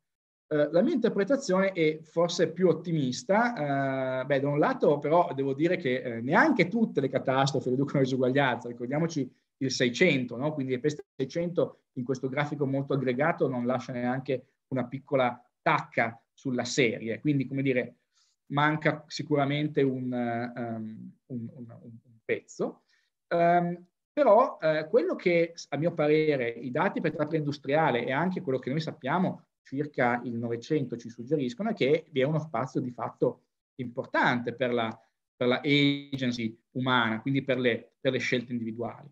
Perché nel XX secolo la disuguaglianza dopo la seconda guerra mondiale continua a diminuire per circa due decenni e solitamente si ritiene che questo sia in, Europa occidentale associato allo sviluppo dello Stato sociale, no? Eh, mentre in età preindustriale abbiamo visto che un probabile fattore di eh, stimolo all'aumento dell'uguaglianza è proprio l'assetto istituzionale, che è volutamente costruito in un modo che avvantaggia le elite economiche, sociali e politiche. Quindi è una scelta, no? Aumenta la disuguaglianza perché qualcuno ha organizzato il sistema in un certo modo. Quindi non è un natu- una naturale tendenza, c'è una parte molto importante di questa storia che ha a che fare con istituzioni, politica e organizzazione sociale. Ora, per farla breve, il punto è che, a mio parere, la storia ci dice due cose.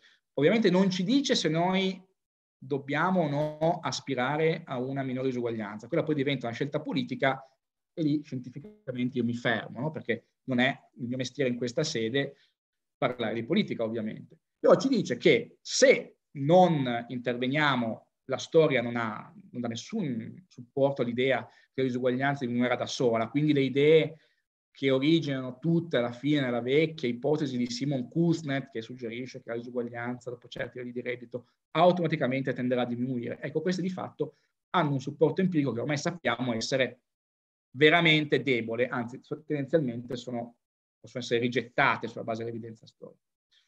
Dice anche al tempo stesso che noi abbiamo la possibilità di incidere sulle dinamiche distributive, principalmente tramite le nostre istituzioni, tra le quali principalmente i sistemi fiscali, e questo a mio parere è molto rilevante, in una fase in cui si ragiona sempre di riforme dei sistemi fiscali e anche dell'opportunità o meno di, uh, almeno in, in, una logica di emergenza, aumentare uh, il prelievo sui ricchi o su quelli che sono beneficiati in qualche misura della crisi. Tema su cui si potrebbe continuare a parlare, non lo faccio, eh, chiudo soltanto dicendo che ehm, l'aspettativa relativa a Covid-19 mia e dei miei colleghi che si occupano di queste cose è che spontaneamente una pandemia come Covid tenderebbe ad aumentare, non a ridurre le disuguaglianze, perché per due ragioni. Uno, non uccide abbastanza da creare uno shock al mercato del lavoro tale da cambiare il quadro, come è successo con la peste quindi fortunatamente questo non è. Due, tende per varie ragioni a colpire maggiormente chi ha i lavori meno stabili, quindi più fragili, e i redditi più bassi. Stesso, stessa dinamica si è verificata dopo la, dopo la spagnola del 1918-19, che epidemiologicamente è, mo, è la, tra le grandi pandemie del passato è quella più simile al, a Covid-19, in cui alcuni studi cominciano a suggerire effettivamente che ci fu un aumento non una riduzione dell'esuguaglianza dopo la, dopo la spagnola. Eh, chiaramente il problema lì è che ehm, si arrivava a una situazione di economia di guerra, quindi stimare l'impatto della pandemia è molto difficile. Eh, nel caso della Svezia, che era neutrale in prima guerra mondiale, eh, un studio molto interessante ha mostrato come per ogni morto di spagnola vi furono tre nuovi poveri definiti come persone che ebbero bisogno di assistenza pubblica per sopravvivere dato che si tratta di centinaia di migliaia di morti di spagnola in Svezia, ehm, potete facilmente immaginare che l'impatto sulla povertà della spagnola fu molto elevato. Ovviamente nel caso di Covid non conta soltanto la mortalità, non conta soltanto l'impatto sul, eh, sugli individui, ma conta anche di nuovo moltissimo come le politiche introdotte per contrastare il Covid mediano gli effetti della pandemia. Quindi non è detto che nel medio periodo la disuguaglianza aumenterà, Covid lasciato agire da solo tenderebbe ad aumentarla, ma gli interventi posti in atto, almeno alcuni di essi, sono specificamente volti a contrastarne almeno alcuni degli effetti negativi. Poi ovviamente anche di questo si potrebbe parlare praticamente all'infinito. Mi scuso, ho parlato troppo e mi fermo qui.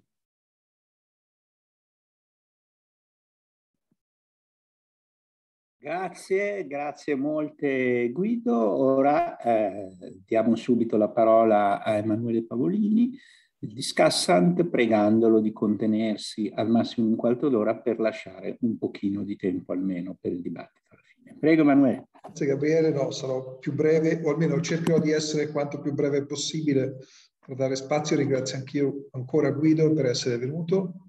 aver fatto questa bellissima presentazione. Lui ha fatto una presentazione generale, io vi invito, ecco, non posso condividere lo schermo, comunque non c'è problema, vi invito fra, fra i lavori di cui Guido ha parlato a leggere quanto prima il suo articolo intitolato Economic Inequality in Pre-Industrial Times, Europe and Beyond, che è uscito sul Journal of Economic Literature eh, nel 21. Um, è uno dei testi che sono stati citati, uno degli ultimi grafici che avete visto eh, è presente anche, perché appunto serve a, a, leggere il lavoro. Ora io vado a una serie di punti fondamentali come sociologo economico. E cioè, Se vuoi ora puoi condividere. Sì, ma soltanto per fare fra virgolette, ah. un po' di pubblicità a Guido, se vuole, così. Questo è il testo che vi consiglio di leggere, potete fare uno screenshot così eh, non c'è bisogno che, che, vi disturbi troppo con la condivisione, però vi consiglio veramente di leggerlo, è molto interessante. C'è tantissima letteratura dentro e, e, e, ci sono molti dei discorsi che Guido ha fatto, anche se poi la presentazione di Guido, da persona generosa, quale arricchito ulteriormente rispetto all'articolo. Però diciamo il primo punto di partenza per cui con Gabriele abbiamo voluto invitare Guido è che come sociologi economici e nelle corde della nostra disciplina, dai padri fondatori, poi avere un approccio che sia comparativo storico.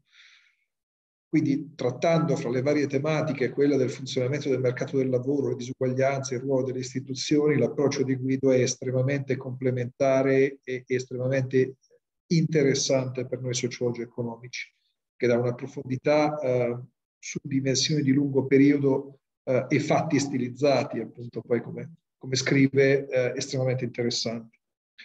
Uh, le altre buone notizie che dà, di nuovo, per, per, i sociologi economici e per approcci, diciamo, di political economy, è che rispetto a molti altri tipi di approcci possibili che ti spiegano la disuguaglianza o il calo della disuguaglianza in base a uh, variabili strettamente legati all'andamento economico e variabili demografiche, la spiegazione di, di, Guido è molto più interessante per noi, perché è una spiegazione in buona parte, eh, diciamo, istituzionalista, politico-istituzionale, diciamo così, e che guarda in maniera molto attenta all'interazione che c'è fra trasformazioni economiche, trasformazioni demografiche di vario tipo, e adesso semplificando sotto demografia ci metto anche le epidemie che sono state al centro di una parte della sua presentazione, cioè come un'epidemia cambia dei fenomeni come le disuguaglianze, ma in realtà quello che lui ci fa vedere rispetto a gran parte della letteratura precedente, che io conosco perlomeno,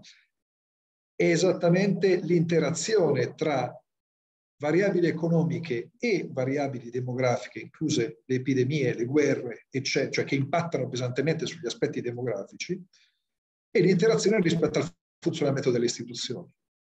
Il confronto che fa fra la peste del Seicento e la peste nera è molto interessante da questo punto di vista perché fa vedere come, rispetto appunto, lui citava uno degli autori più, almeno tra gli storici che sono più conosciuti su questo, cioè Scheidel, eh, fa vedere come in realtà non sia così semplice la storia del dire occorrono i, i quattro cavalieri dell'Apocalisse per abbassare eh, per abbassare il livello di inequality. Appunto, Scheidel nella sua ipotesi parla di guerre mondiali, epidemie come la peste nera e, e, fa una ricostruzione storica come fa Guido. Guido ci fa vedere che spesso questa non è una condizione necessariamente presente. Occorre capire come le regole uh, di funzionamento di uno Stato uh, accentuano le conseguenze in un senso o in un altro, uh, in termini di disuguaglianze, di questi fenomeni drammatici come ad esempio uh, le pandemie o altri fenomeni. Quindi, appunto, diventa interessante andare a vedere la parte che, da, da sociologi economici, la parte che Guido dedica al funzionamento e alla regolazione dello Stato. Ecco perché di nuovo vi invito, era chiaro nella sua presentazione, ma vi invito a leggere i testi di Guido, tutta la parte dedicata a appunto il sistema fiscale, quanto è regressivo o no, eh, noi attualmente sui sistemi fiscali attualmente siamo abituati a parlare di quanto sono progressivi o meno. Un'ottica di lungo periodo ci dà chiaramente l'idea di come per secoli il tema non fosse quanto riusciamo a rendere progressivo un sistema fiscale, ma quanto lo riusciamo a rendere meno regressivo. Uh, il funzionamento dei, dei, governi in generale, il funzionamento della regolazione del, della successione dei patrimoni quello che riguarda la ricchezza e quindi poi anche i redditi, cioè ricostruisce questi fenomeni che chiaramente aprono uno spazio molto interessante di collaborazione fra storici economici e eh, politologi da un lato, istituzionali, storico-istituzionalisti e sociologi con un approccio comparativo di political economy sulla ricostruzione di questi, di questi, appunto, di questi elementi di svolta, e cioè come si arriva dentro un dato contesto ad una regolazione di un certo tipo della tassazione che ha un effetto e interagisce, anche, come abbiamo visto, importante anche a, diciamo, in qualche maniera indipendentemente dal livello di sviluppo economico. Quindi, eh, rispetto alla vulgata che c'era fino a dieci anni fa e che probabilmente dopo la crisi in parte già è cambiata anche in contesti come l'Ocsi, Guido ci conferma che non esiste scientificamente una correlazione robusta fra sviluppo economico e disuguaglianze. Questo trade-off è appunto di nuovo mediato, perlomeno sulla base di dati che sono molto più robusti di quelli che in genere si utilizzano e che gli economisti usano, che riguardano periodi di tempo molto più brevi e in genere contemporanei, con uno sguardo e un respiro secolare queste correlazioni non si vedono. Um, ora chiudo con un paio di domande per Guido e poi lascio spazio alla discussione così abbiamo una mezz'ora di discussione. Una domanda è questa, io ho trovato chiaramente sia risultati estremamente interessanti, sia la creatività nelle metodologie, oltre che una pazienza certosina nel cercare le fonti. Quindi gli chiederei se appunto a titolo informativo ci può dire un po' di più quali sono le direzioni verso cui si sta andando e, e come dire, in maniera creativa gli storici economici eh, usano uh, per ricostruire anche fasi, cioè ricostruire fenomeni legati alla disuguaglianza di reddito e di ricchezza in fasi storiche in cui i dati più documentali sono meno presenti. In parte ne ha parlato. Due domande specifiche invece sui contenuti, diciamo così, e sugli sviluppi. Lui ci fa vedere molto bene alcuni meccanismi tramite cui le istituzioni giocano e influenzano eh, il riprodursi, l'ampliarsi o il diminuire delle disuguaglianze rispetto ad altri fenomeni demografici eh, più generali. Ci ha fatto vedere appunto il sistema fiscale, ci ha fatto vedere come funzionano i meccanismi di successione eh, dei patrimoni. Ecco, gli chiedo se la ricerca in ambito di storia economica sta guardando anche in altre direzioni, cioè altre potenziali istituzioni da ricostruire in livello micro come lui fa. Uh, ultima domanda. Uh, accumulazione di capitale umano. È chiaro che eh, parlare di accumulazione di capitale umano, uh, allora questo scusate, perché parlo di accumulazione di capitale umano e chiudo veramente, è l'ultimo punto che Guido ha fatto sulla pandemia attuale e sull'impatto sulle disuguaglianze. Beh, qui fra noi ho visto vari amici presenti che studiano, a partire da Gabriele, ci sono Giovanni, Gianluca e molti altri che si occupano di disuguaglianze sull'istruzione. Uno dei dati più preoccupanti nel breve periodo di quello che sta succedendo sulla pandemia è esattamente l'impatto in termini di disuguaglianze eh, negli apprendimenti e ci sono riflessioni su questo, iniziano ad esserci dei primi dati, eccetera. Allora mi chiedo quanto questo approccio che noi stiamo vedendo un po' sul Covid, in qualche maniera possa essere applicato sull'impatto su eh, capitale umano, accumulazione di capitale umano eh, nel corso del tempo a partire da quello che è successo ad esempio con la peste nera eccetera cioè c'è un filone che cerca di mettere in relazione per essere concreto come domanda Guido il tema delle disuguaglianze nei redditi e nella ricchezza rispetto anche al tema dell'accumulazione di capitale umano, sapendo che anche qui è una sfida, perché parlare di accumulazione di capitale umano nell'alto medioevo nel basso medioevo è un po' diverso che in quella che dovrebbe essere una società della conoscenza del XXI secolo. Quindi grazie ancora e, e non so se magari eh, conviene sentire se ci sono altri interventi, eccetera, così vi do un po' di tempo per fare una risposta complessiva, altrimenti rischio di aver monopolizzato le domande e gli stimoli per, intellettuali per guida. Grazie ancora. Grazie Emanuele, sì, sono d'accordo con te, direi che raccogliamo qualche intervento così poi diamo agio a eh, Guido di rispondere. Per cui eh, floor is open, fatevi sentire.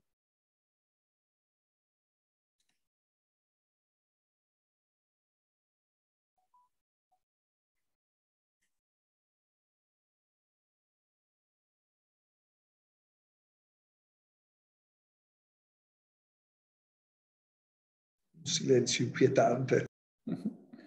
Non vedo manine, eh, concine della manina alzarsi.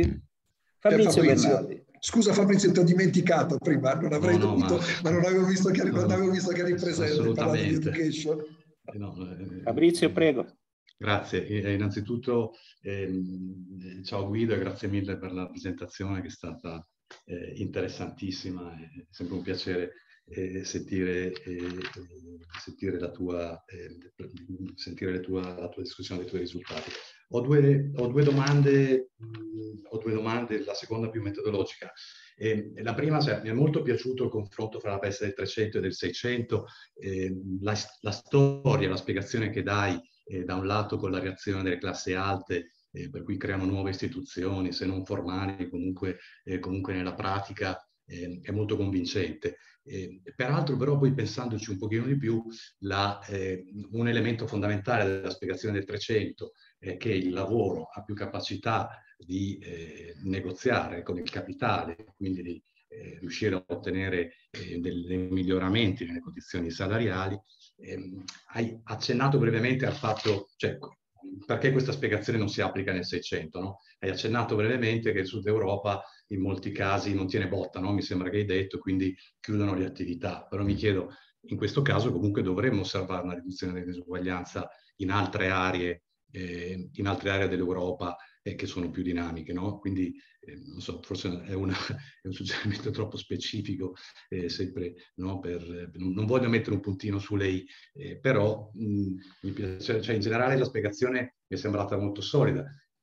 Un altro elemento a cui stavo pensando, però è vero anche nel 300, che se c'è una mortalità del 50%, il sistema è, è, è ereditario è completamente egualitario, non è automatico che questo porti a una riduzione della disuguaglianza, nella misura in cui muoiono metà dei fratelli eh, fra, eh, fra, le classi ambienti eh, ci dovrebbe essere un, eh, un, aumento della concentrazione della ricchezza. No? Quindi mi chiedo questa dinamiche demografiche dentro la famiglia come possano essere eh, tenute conto se non pensando che ci sia anche una mortalità differenziale che probabilmente non c'è stata. Però mi chiedevo, cioè la, la storia è bella, la storia si incastra tutto benissimo, però poi pensandoci un pochino di più mi sono venuti in mente questi, eh, no? questi, queste implicazioni che, che, se riesce a dimostrare che sono, sono così la rendono ancora più forte. La seconda domanda sulla mobilità sociale, eh, è interessantissimo, ovviamente sono molto curioso in attesa di vedere nuovi risultati, no? però mi sembra che, correggimi se sbaglio, che soprattutto per gli studi locali questo si basi sull'idea di una eh, stabilità eh, geografica delle famiglie nel tempo. E quindi mi chiedo come la mobilità geografica possa creare o crea un problema, se è un problema per te e, e quindi se eh, in un certo senso ci sia una sottostima nella misura in cui chi si ferma eh, sono soltanto i ricchi e, e, i poveri senza altre possibilità. Però mi chiedo se uno studio di questo tipo, seguendo eh, questi estimi, si possa fare soltanto nelle piccole comunità eh, per la capacità di rintracciare da una generazione all'altra, assumendo che non ci sia mobilità geografica. Ok, grazie.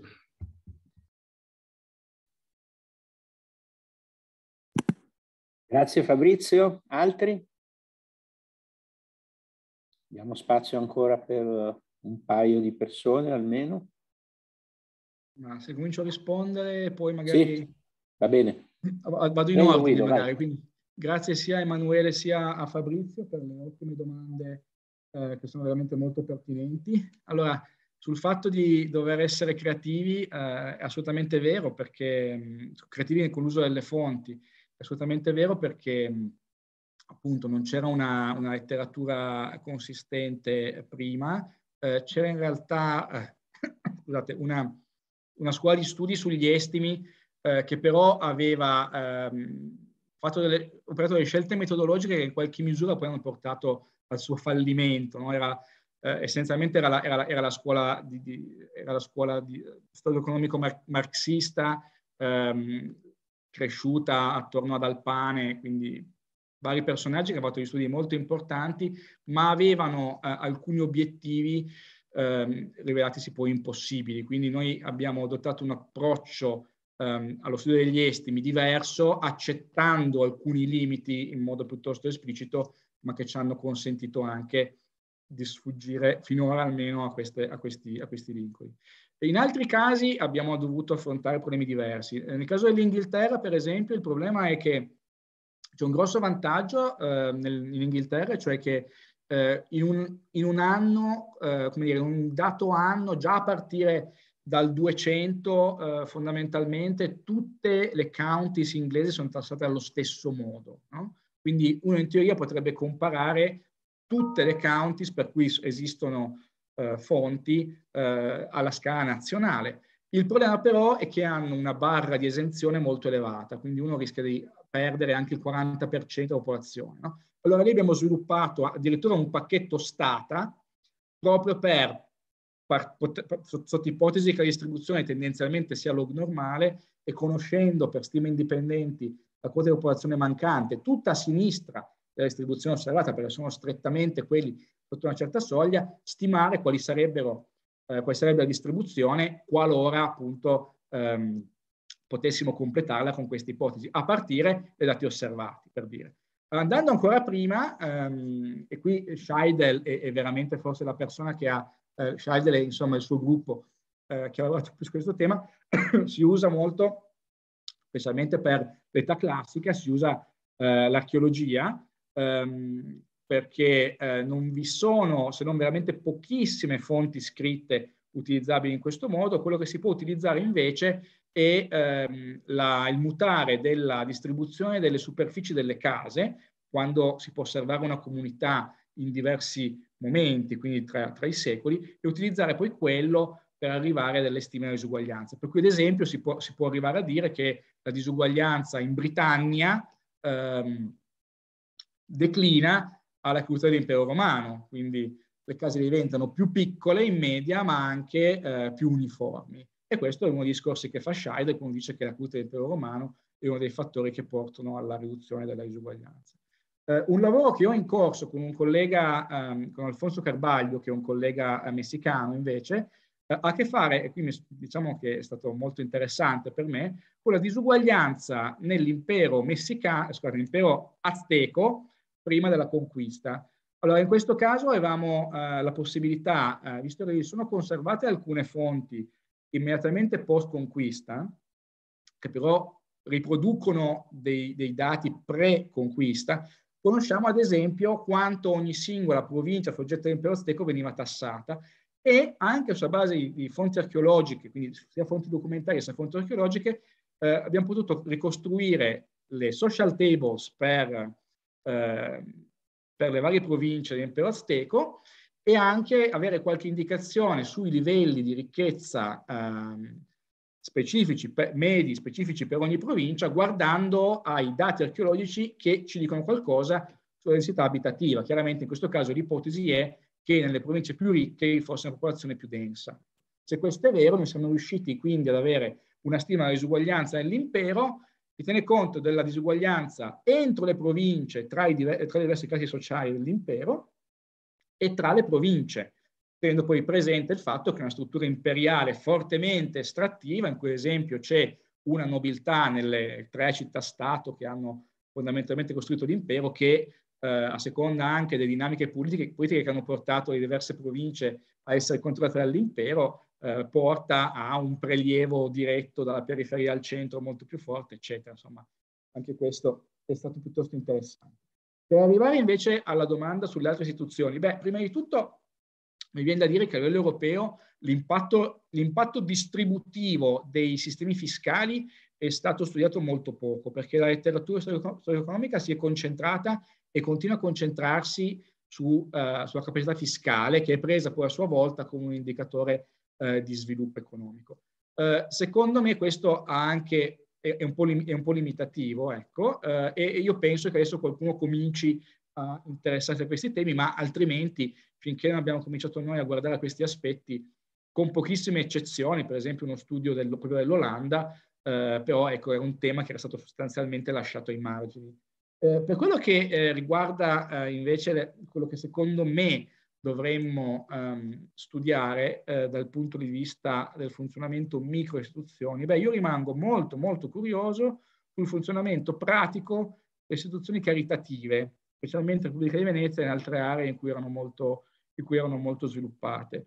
perché sono veramente un tassello fondamentale in questa società in cui la sussistenza deve essere assicurata, perché altrimenti la uh, stabilità sociale e politica non verrebbe assolutamente assicurata, perché dire, le rivolte in un contesto preindustriale sono una cosa che si verifica puntualmente quando la popolazione ritiene che qualcuno gli stia approfittando di loro. Eh? Quindi, attenzione, chiaramente è un contesto diverso, quindi quello che è accettabile è diverso rispetto a quello che sarebbe accettabile oggi, ma c'è comunque un'idea di giustizia e di ciò che è dovuto anche agli strati più umili che permea quella società.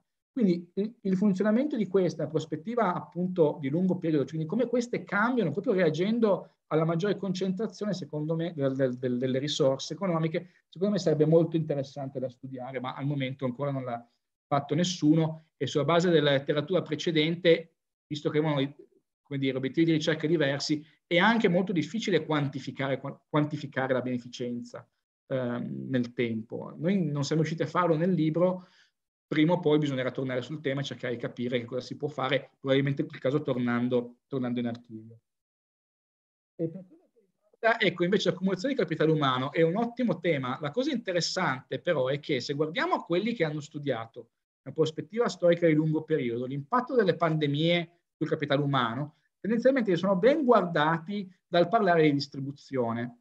Perché la storia che si racconta solitamente per la peste del 300, per esempio, è che sì, muoiono un sacco di persone, però poi dopo eh, il reddito pro capite aumenta, la speranza di vita diminuisce, ma per questo sorta di paradosso si diventa più ambiziosi su ciò che si può fare nella propria vita, magari più breve, no? ma più ambiziosi, quindi anche in termini appunto di sviluppo di skills ci sarebbe una, una, una spinta eh, positiva. Il problema invece però è, dal mio punto di vista, è che il PIL pro capite ci dice pochissimo in un contesto in cui non possiamo presumere eh, che la distribuzione non cambi, perché cambia la distribuzione nel tempo. No? Quindi, come dire, va bene il discorso della peste del 300 perché sappiamo tendenzialmente che l'usuaglianza è diminuita.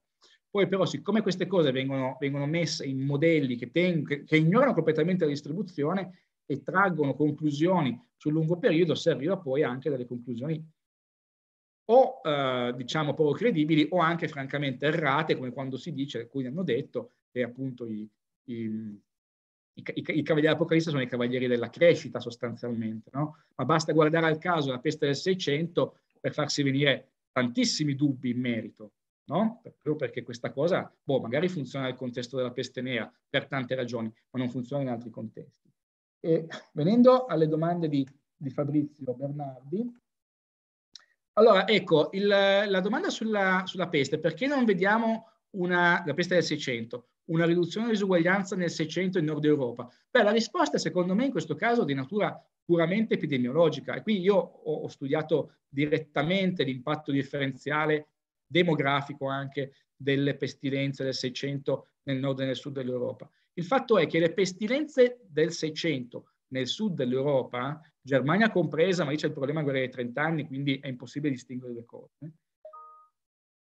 Questi eventi sono strutturalmente diversi rispetto a quelli che si verificano nel nord del continente. Per tante ragioni. Uno, perché sono, le singole pestilenze nell'Europa sono di, di entità molto minore, quindi sono molto più frequenti. In Italia non conosco nessuna comunità colpita più di che una singola volta dalla peste nel corso dell'intero Seicento. Londra è colpita sei volte dalla peste nel corso del Seicento. D'accordo? Ma se anche mettiamo assieme tutte le morti causate da tutte le pestilenze che hanno colpito l'Inghilterra nel corso del Seicento, non arriviamo mai a un impatto neanche lontanamente comparabile a quello che la peste del 1630 ha in un anno e mezzo fondamentalmente nel nord Italia. No? Quindi anche il fatto che siano dire, non solo più, più morti, ma anche concentrate in un tempo molto breve, fa sì che l'impatto distributivo sia eh, tendenzialmente molto diverso. Quindi il discorso che facevo io, cioè sul fatto che data un tasso di mortalità comparabile, ci aspetteremmo eventualmente una riduzione della disuguaglianza, beh, cade per il nord perché il tasso di mortalità in quel caso non è comparabile. Quindi questa, ecco, in, in breve è la risposta più semplice. Per quel che riguarda invece la mobilità geografica, hai assolutamente ragione, eh, per la peste del 300 che fondamentalmente, come dire, il cui come dire, impatto sulla mobilità può essere fondamentalmente studiato solo in Toscana, questo è però tendenzialmente impossibile, perché teniamo presente che il problema della Toscana del 300 è che i cognomi non si utilizzavano ancora, cosa che rende difficilissimo eh, stabilire link nominativi dentro una singola comunità. Immaginati eh, se cominciamo a immaginare un trasferimento di popolazione. In linea di principio, questo lavoro, quindi considerare anche l'unità geografica, sarebbe possibile in almeno alcuni territori nel 600, quindi ad esempio eh, Ivrea e l'area del Canavese attorno a Ivrea, che ha una, anche una certa unità eh, archivistica, se vogliamo, di fonti archivistiche, o la provincia di Padova, eh, ci stiamo lavorando, il quadro rimarrà sempre incompleto, perché questo era tra l'altro uno dei limiti con cui si è scontrata la scuola di Dalpane decenni fa. Cioè, il punto è che chi esce dall'area che noi possiamo studiare, che è un'area anche amministrativa, non possiamo immaginare di riuscire a recuperarlo, uno perché magari mancano le fonti e due perché eh, si tratterebbe eh, di un tipo di, di, di, approccio impossibile anche nel contesto relativamente generoso di un, di un, progetto europeo, cioè in un contesto in cui comunque si possono mettere insieme team di, ricerca anche di 10 persone, ecco, ma quello sarebbe impossibile anche in quel contesto lì. Invece vedere gli scambi entro, entro le più sottoscritte si può fare. Nel caso per esempio di Ivrea si vede molto bene come la peste del 1630 apre ad esempio degli spazi fisici nella città e consentono l'immigrazione di abitanti poveri dalle campagne, che tra l'altro è uno dei driver dell'aumento della disuguaglianza nelle città dopo la peste del 600, no? perché entra popolazione, popolazione più povera e quindi se io stimo la disuguaglianza sui residenti in un certo anno, poi tendenzialmente sarà aumentata problema che aumenta anche nelle campagne, quindi l'interazione ecco, è un pochino più complicata dal punto di vista distributivo.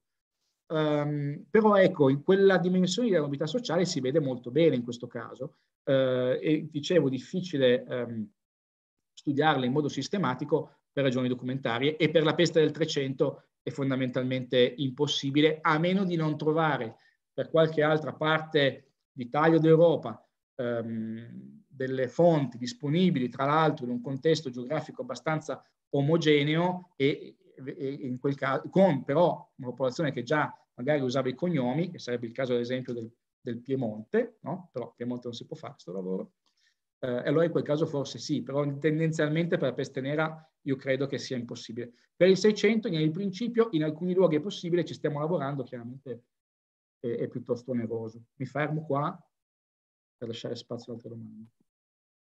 C'è una, un intervento di Giovanni Abbiati?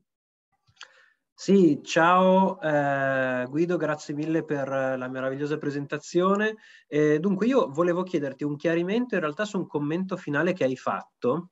Ehm, in quanto su, su, cui immagino che non, tu non abbia dati, ma dato che hai, eh, l'hai, l'hai, citato, ti, eh, ti chiedo, te, te, ne chiedo conto. Dunque, eh, osservando le dinamiche di lungo periodo della disuguaglianza e riferendoti al lavoro di Scheidel, tu fondamentalmente, eh, correggimi se sbaglio, se ho interpretato male, hai giustamente eh, messo in luce che non esiste un effetto meccanico dei Cavalieri dell'Apocalisse sulla disuguaglianza, perché questi eh, il loro impatto cambia a seconda delle condizioni politiche e socio-economiche, però hai anche osservato che in qualche modo la disuguaglianza la, la creiamo noi, il livello di, di, disuguaglianza lo, lo, decidiamo noi eh, a, sulla base a, ad esempio delle nostre preferenze rispetto alla tassazione. E che quindi anche l'altra legge che individuava Scheidel, ossia eh, Scheidel e il suo gruppo di lavoro e la letteratura, eh, la, e la, le, la letteratura a cui fa riferimento, è fondamentalmente quello che eh, l'osservazione che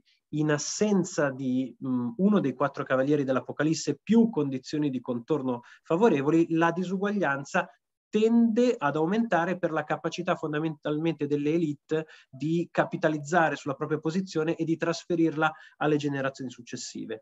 Ecco, il mio eh, dubbio rispetto a quello che hai detto tu, cioè ri rispetto alla, eh, al fatto che noi in qualche modo decidiamo il livello di eh, disuguaglianza, eh, o possiamo in, in, teoria decidere il livello di disuguaglianza che vogliamo, eh, nasce dall'osservazione del fatto che le condizioni meccaniche, dove, diciamo meccanico-demografiche e sociali che permisero la grossa de, eh, il grosso abbassamento della disuguaglianza nei due dopoguerra erano anche funzione del fatto che esisteva una eh, moltitudine di, eh, ehm, di cittadini ar- pesantemente armati, pesantemente eh, per l'epoca, però una moltitudine di cittadini in armi abituati all'uso delle armi e che ehm, e, e, le sofferenze che avevano provato spingevano non solo le classi basse, ma anche le classi medie, in qualche caso anche le classi alte,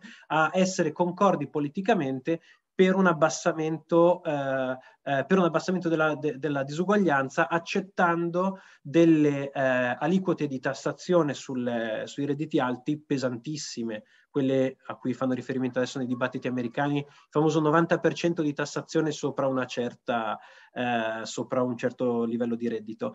Però il fatto di essere d'accordo il fatto di essere d'accordo tutti insieme come società per imporre una così pesante tassazione è stata conseguenza di uno dei cavalieri dell'Apocalisse. Io volevo chiederti quindi se tu ritieni che in assenza di qualche evento uh, completamente rivoluzionario o catastrofico, ehm, al momento tu vedi una possibilità una, una, una, possibilità di un consenso sociale attorno a, tasse, a una tassazione così pesantemente progressiva, perché sappiamo che la riduzione della disuguaglianza è avvenuta solo in presenza di tassazioni mm, mostruosamente progressive, eh, eh, possiamo dire. Anche la Scandinavia in tempi di pace ha comunque aumentato i propri livelli di, di disuguaglianza. Dato che anche dopo questa pandemia, che è stata comunque socialmente distruttiva, non, mi sembra che non siamo assolutamente d'accordo su questo, mi chiedo appunto se in assenza di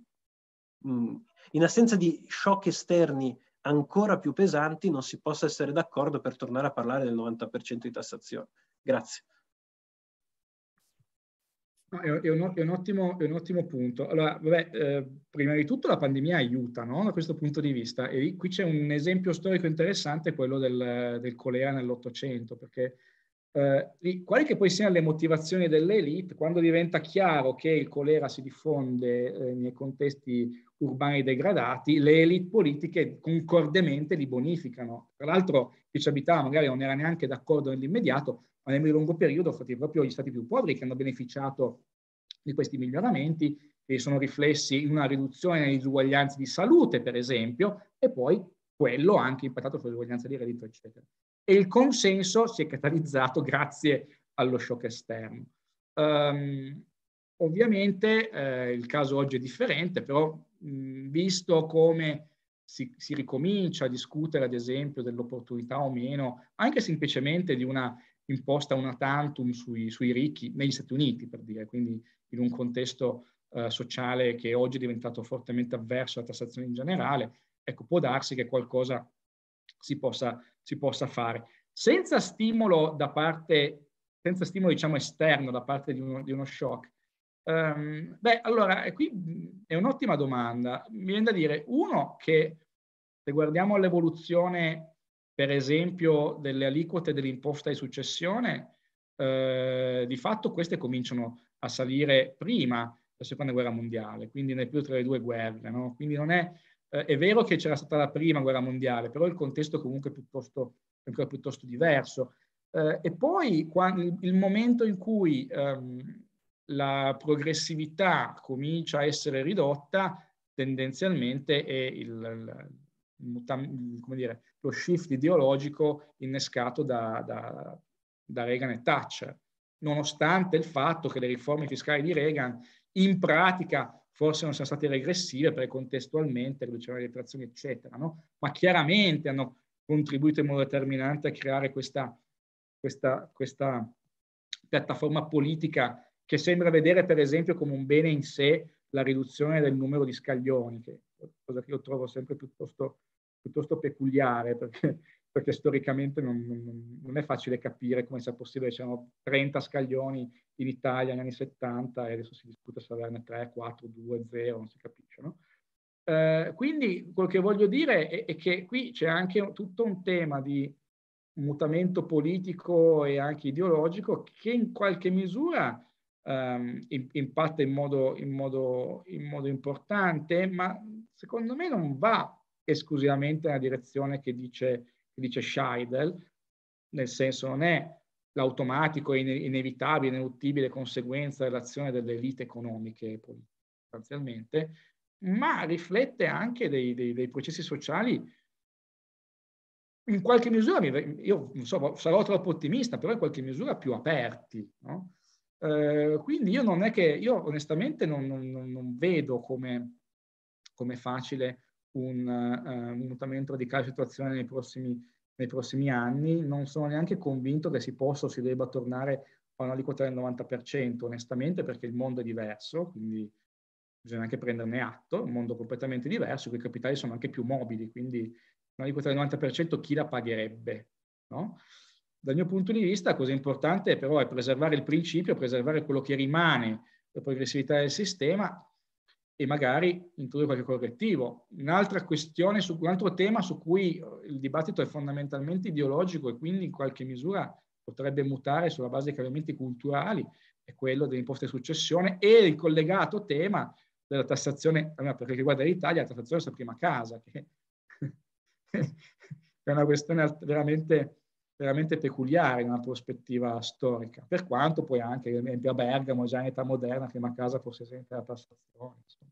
Sono degli antecedenti, no? Um, però il problema della tassazione della ricchezza in prospettiva storica riflette veramente dei cambiamenti, dei cambiamenti culturali. Poi ovviamente quanto questi cambiamenti vengono in qualche misura favoriti dall'azione di certe lobby è, è, poco chiaro, sicuramente è poco chiaro nel contesto americano dove le lobby sono molto meglio finanziate, più potenti, eccetera. Noi ovviamente certe cose le recepiamo a distanza, sicuramente sono temi che varrebbe la pena, varrebbe la pena, varrebbe la pena esplorare.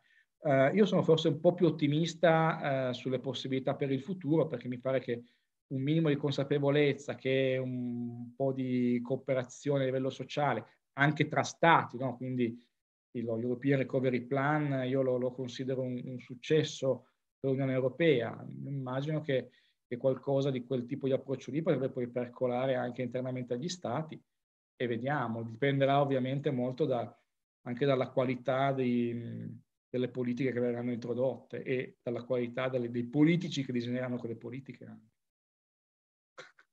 Però insomma qui poi rischiamo di entrare in temi sensibili a fronte della votazione in corso, per esempio. Stavo pensando esattamente la stessa cosa, ma mi piace in fondo finire con una nota di, di ottimismo e allora ancora ringrazio moltissimo Guido, tutti coloro che sono intervenuti, Cecilia Manzo che ha fornito come sempre la tecnostruttura behind the scene e eh, appuntamento a tutti per i prossimi webinar della SISE. Arrivederci a tutti e buona serata. Grazie. Buona serata a tutti, grazie ancora Guido. Ciao.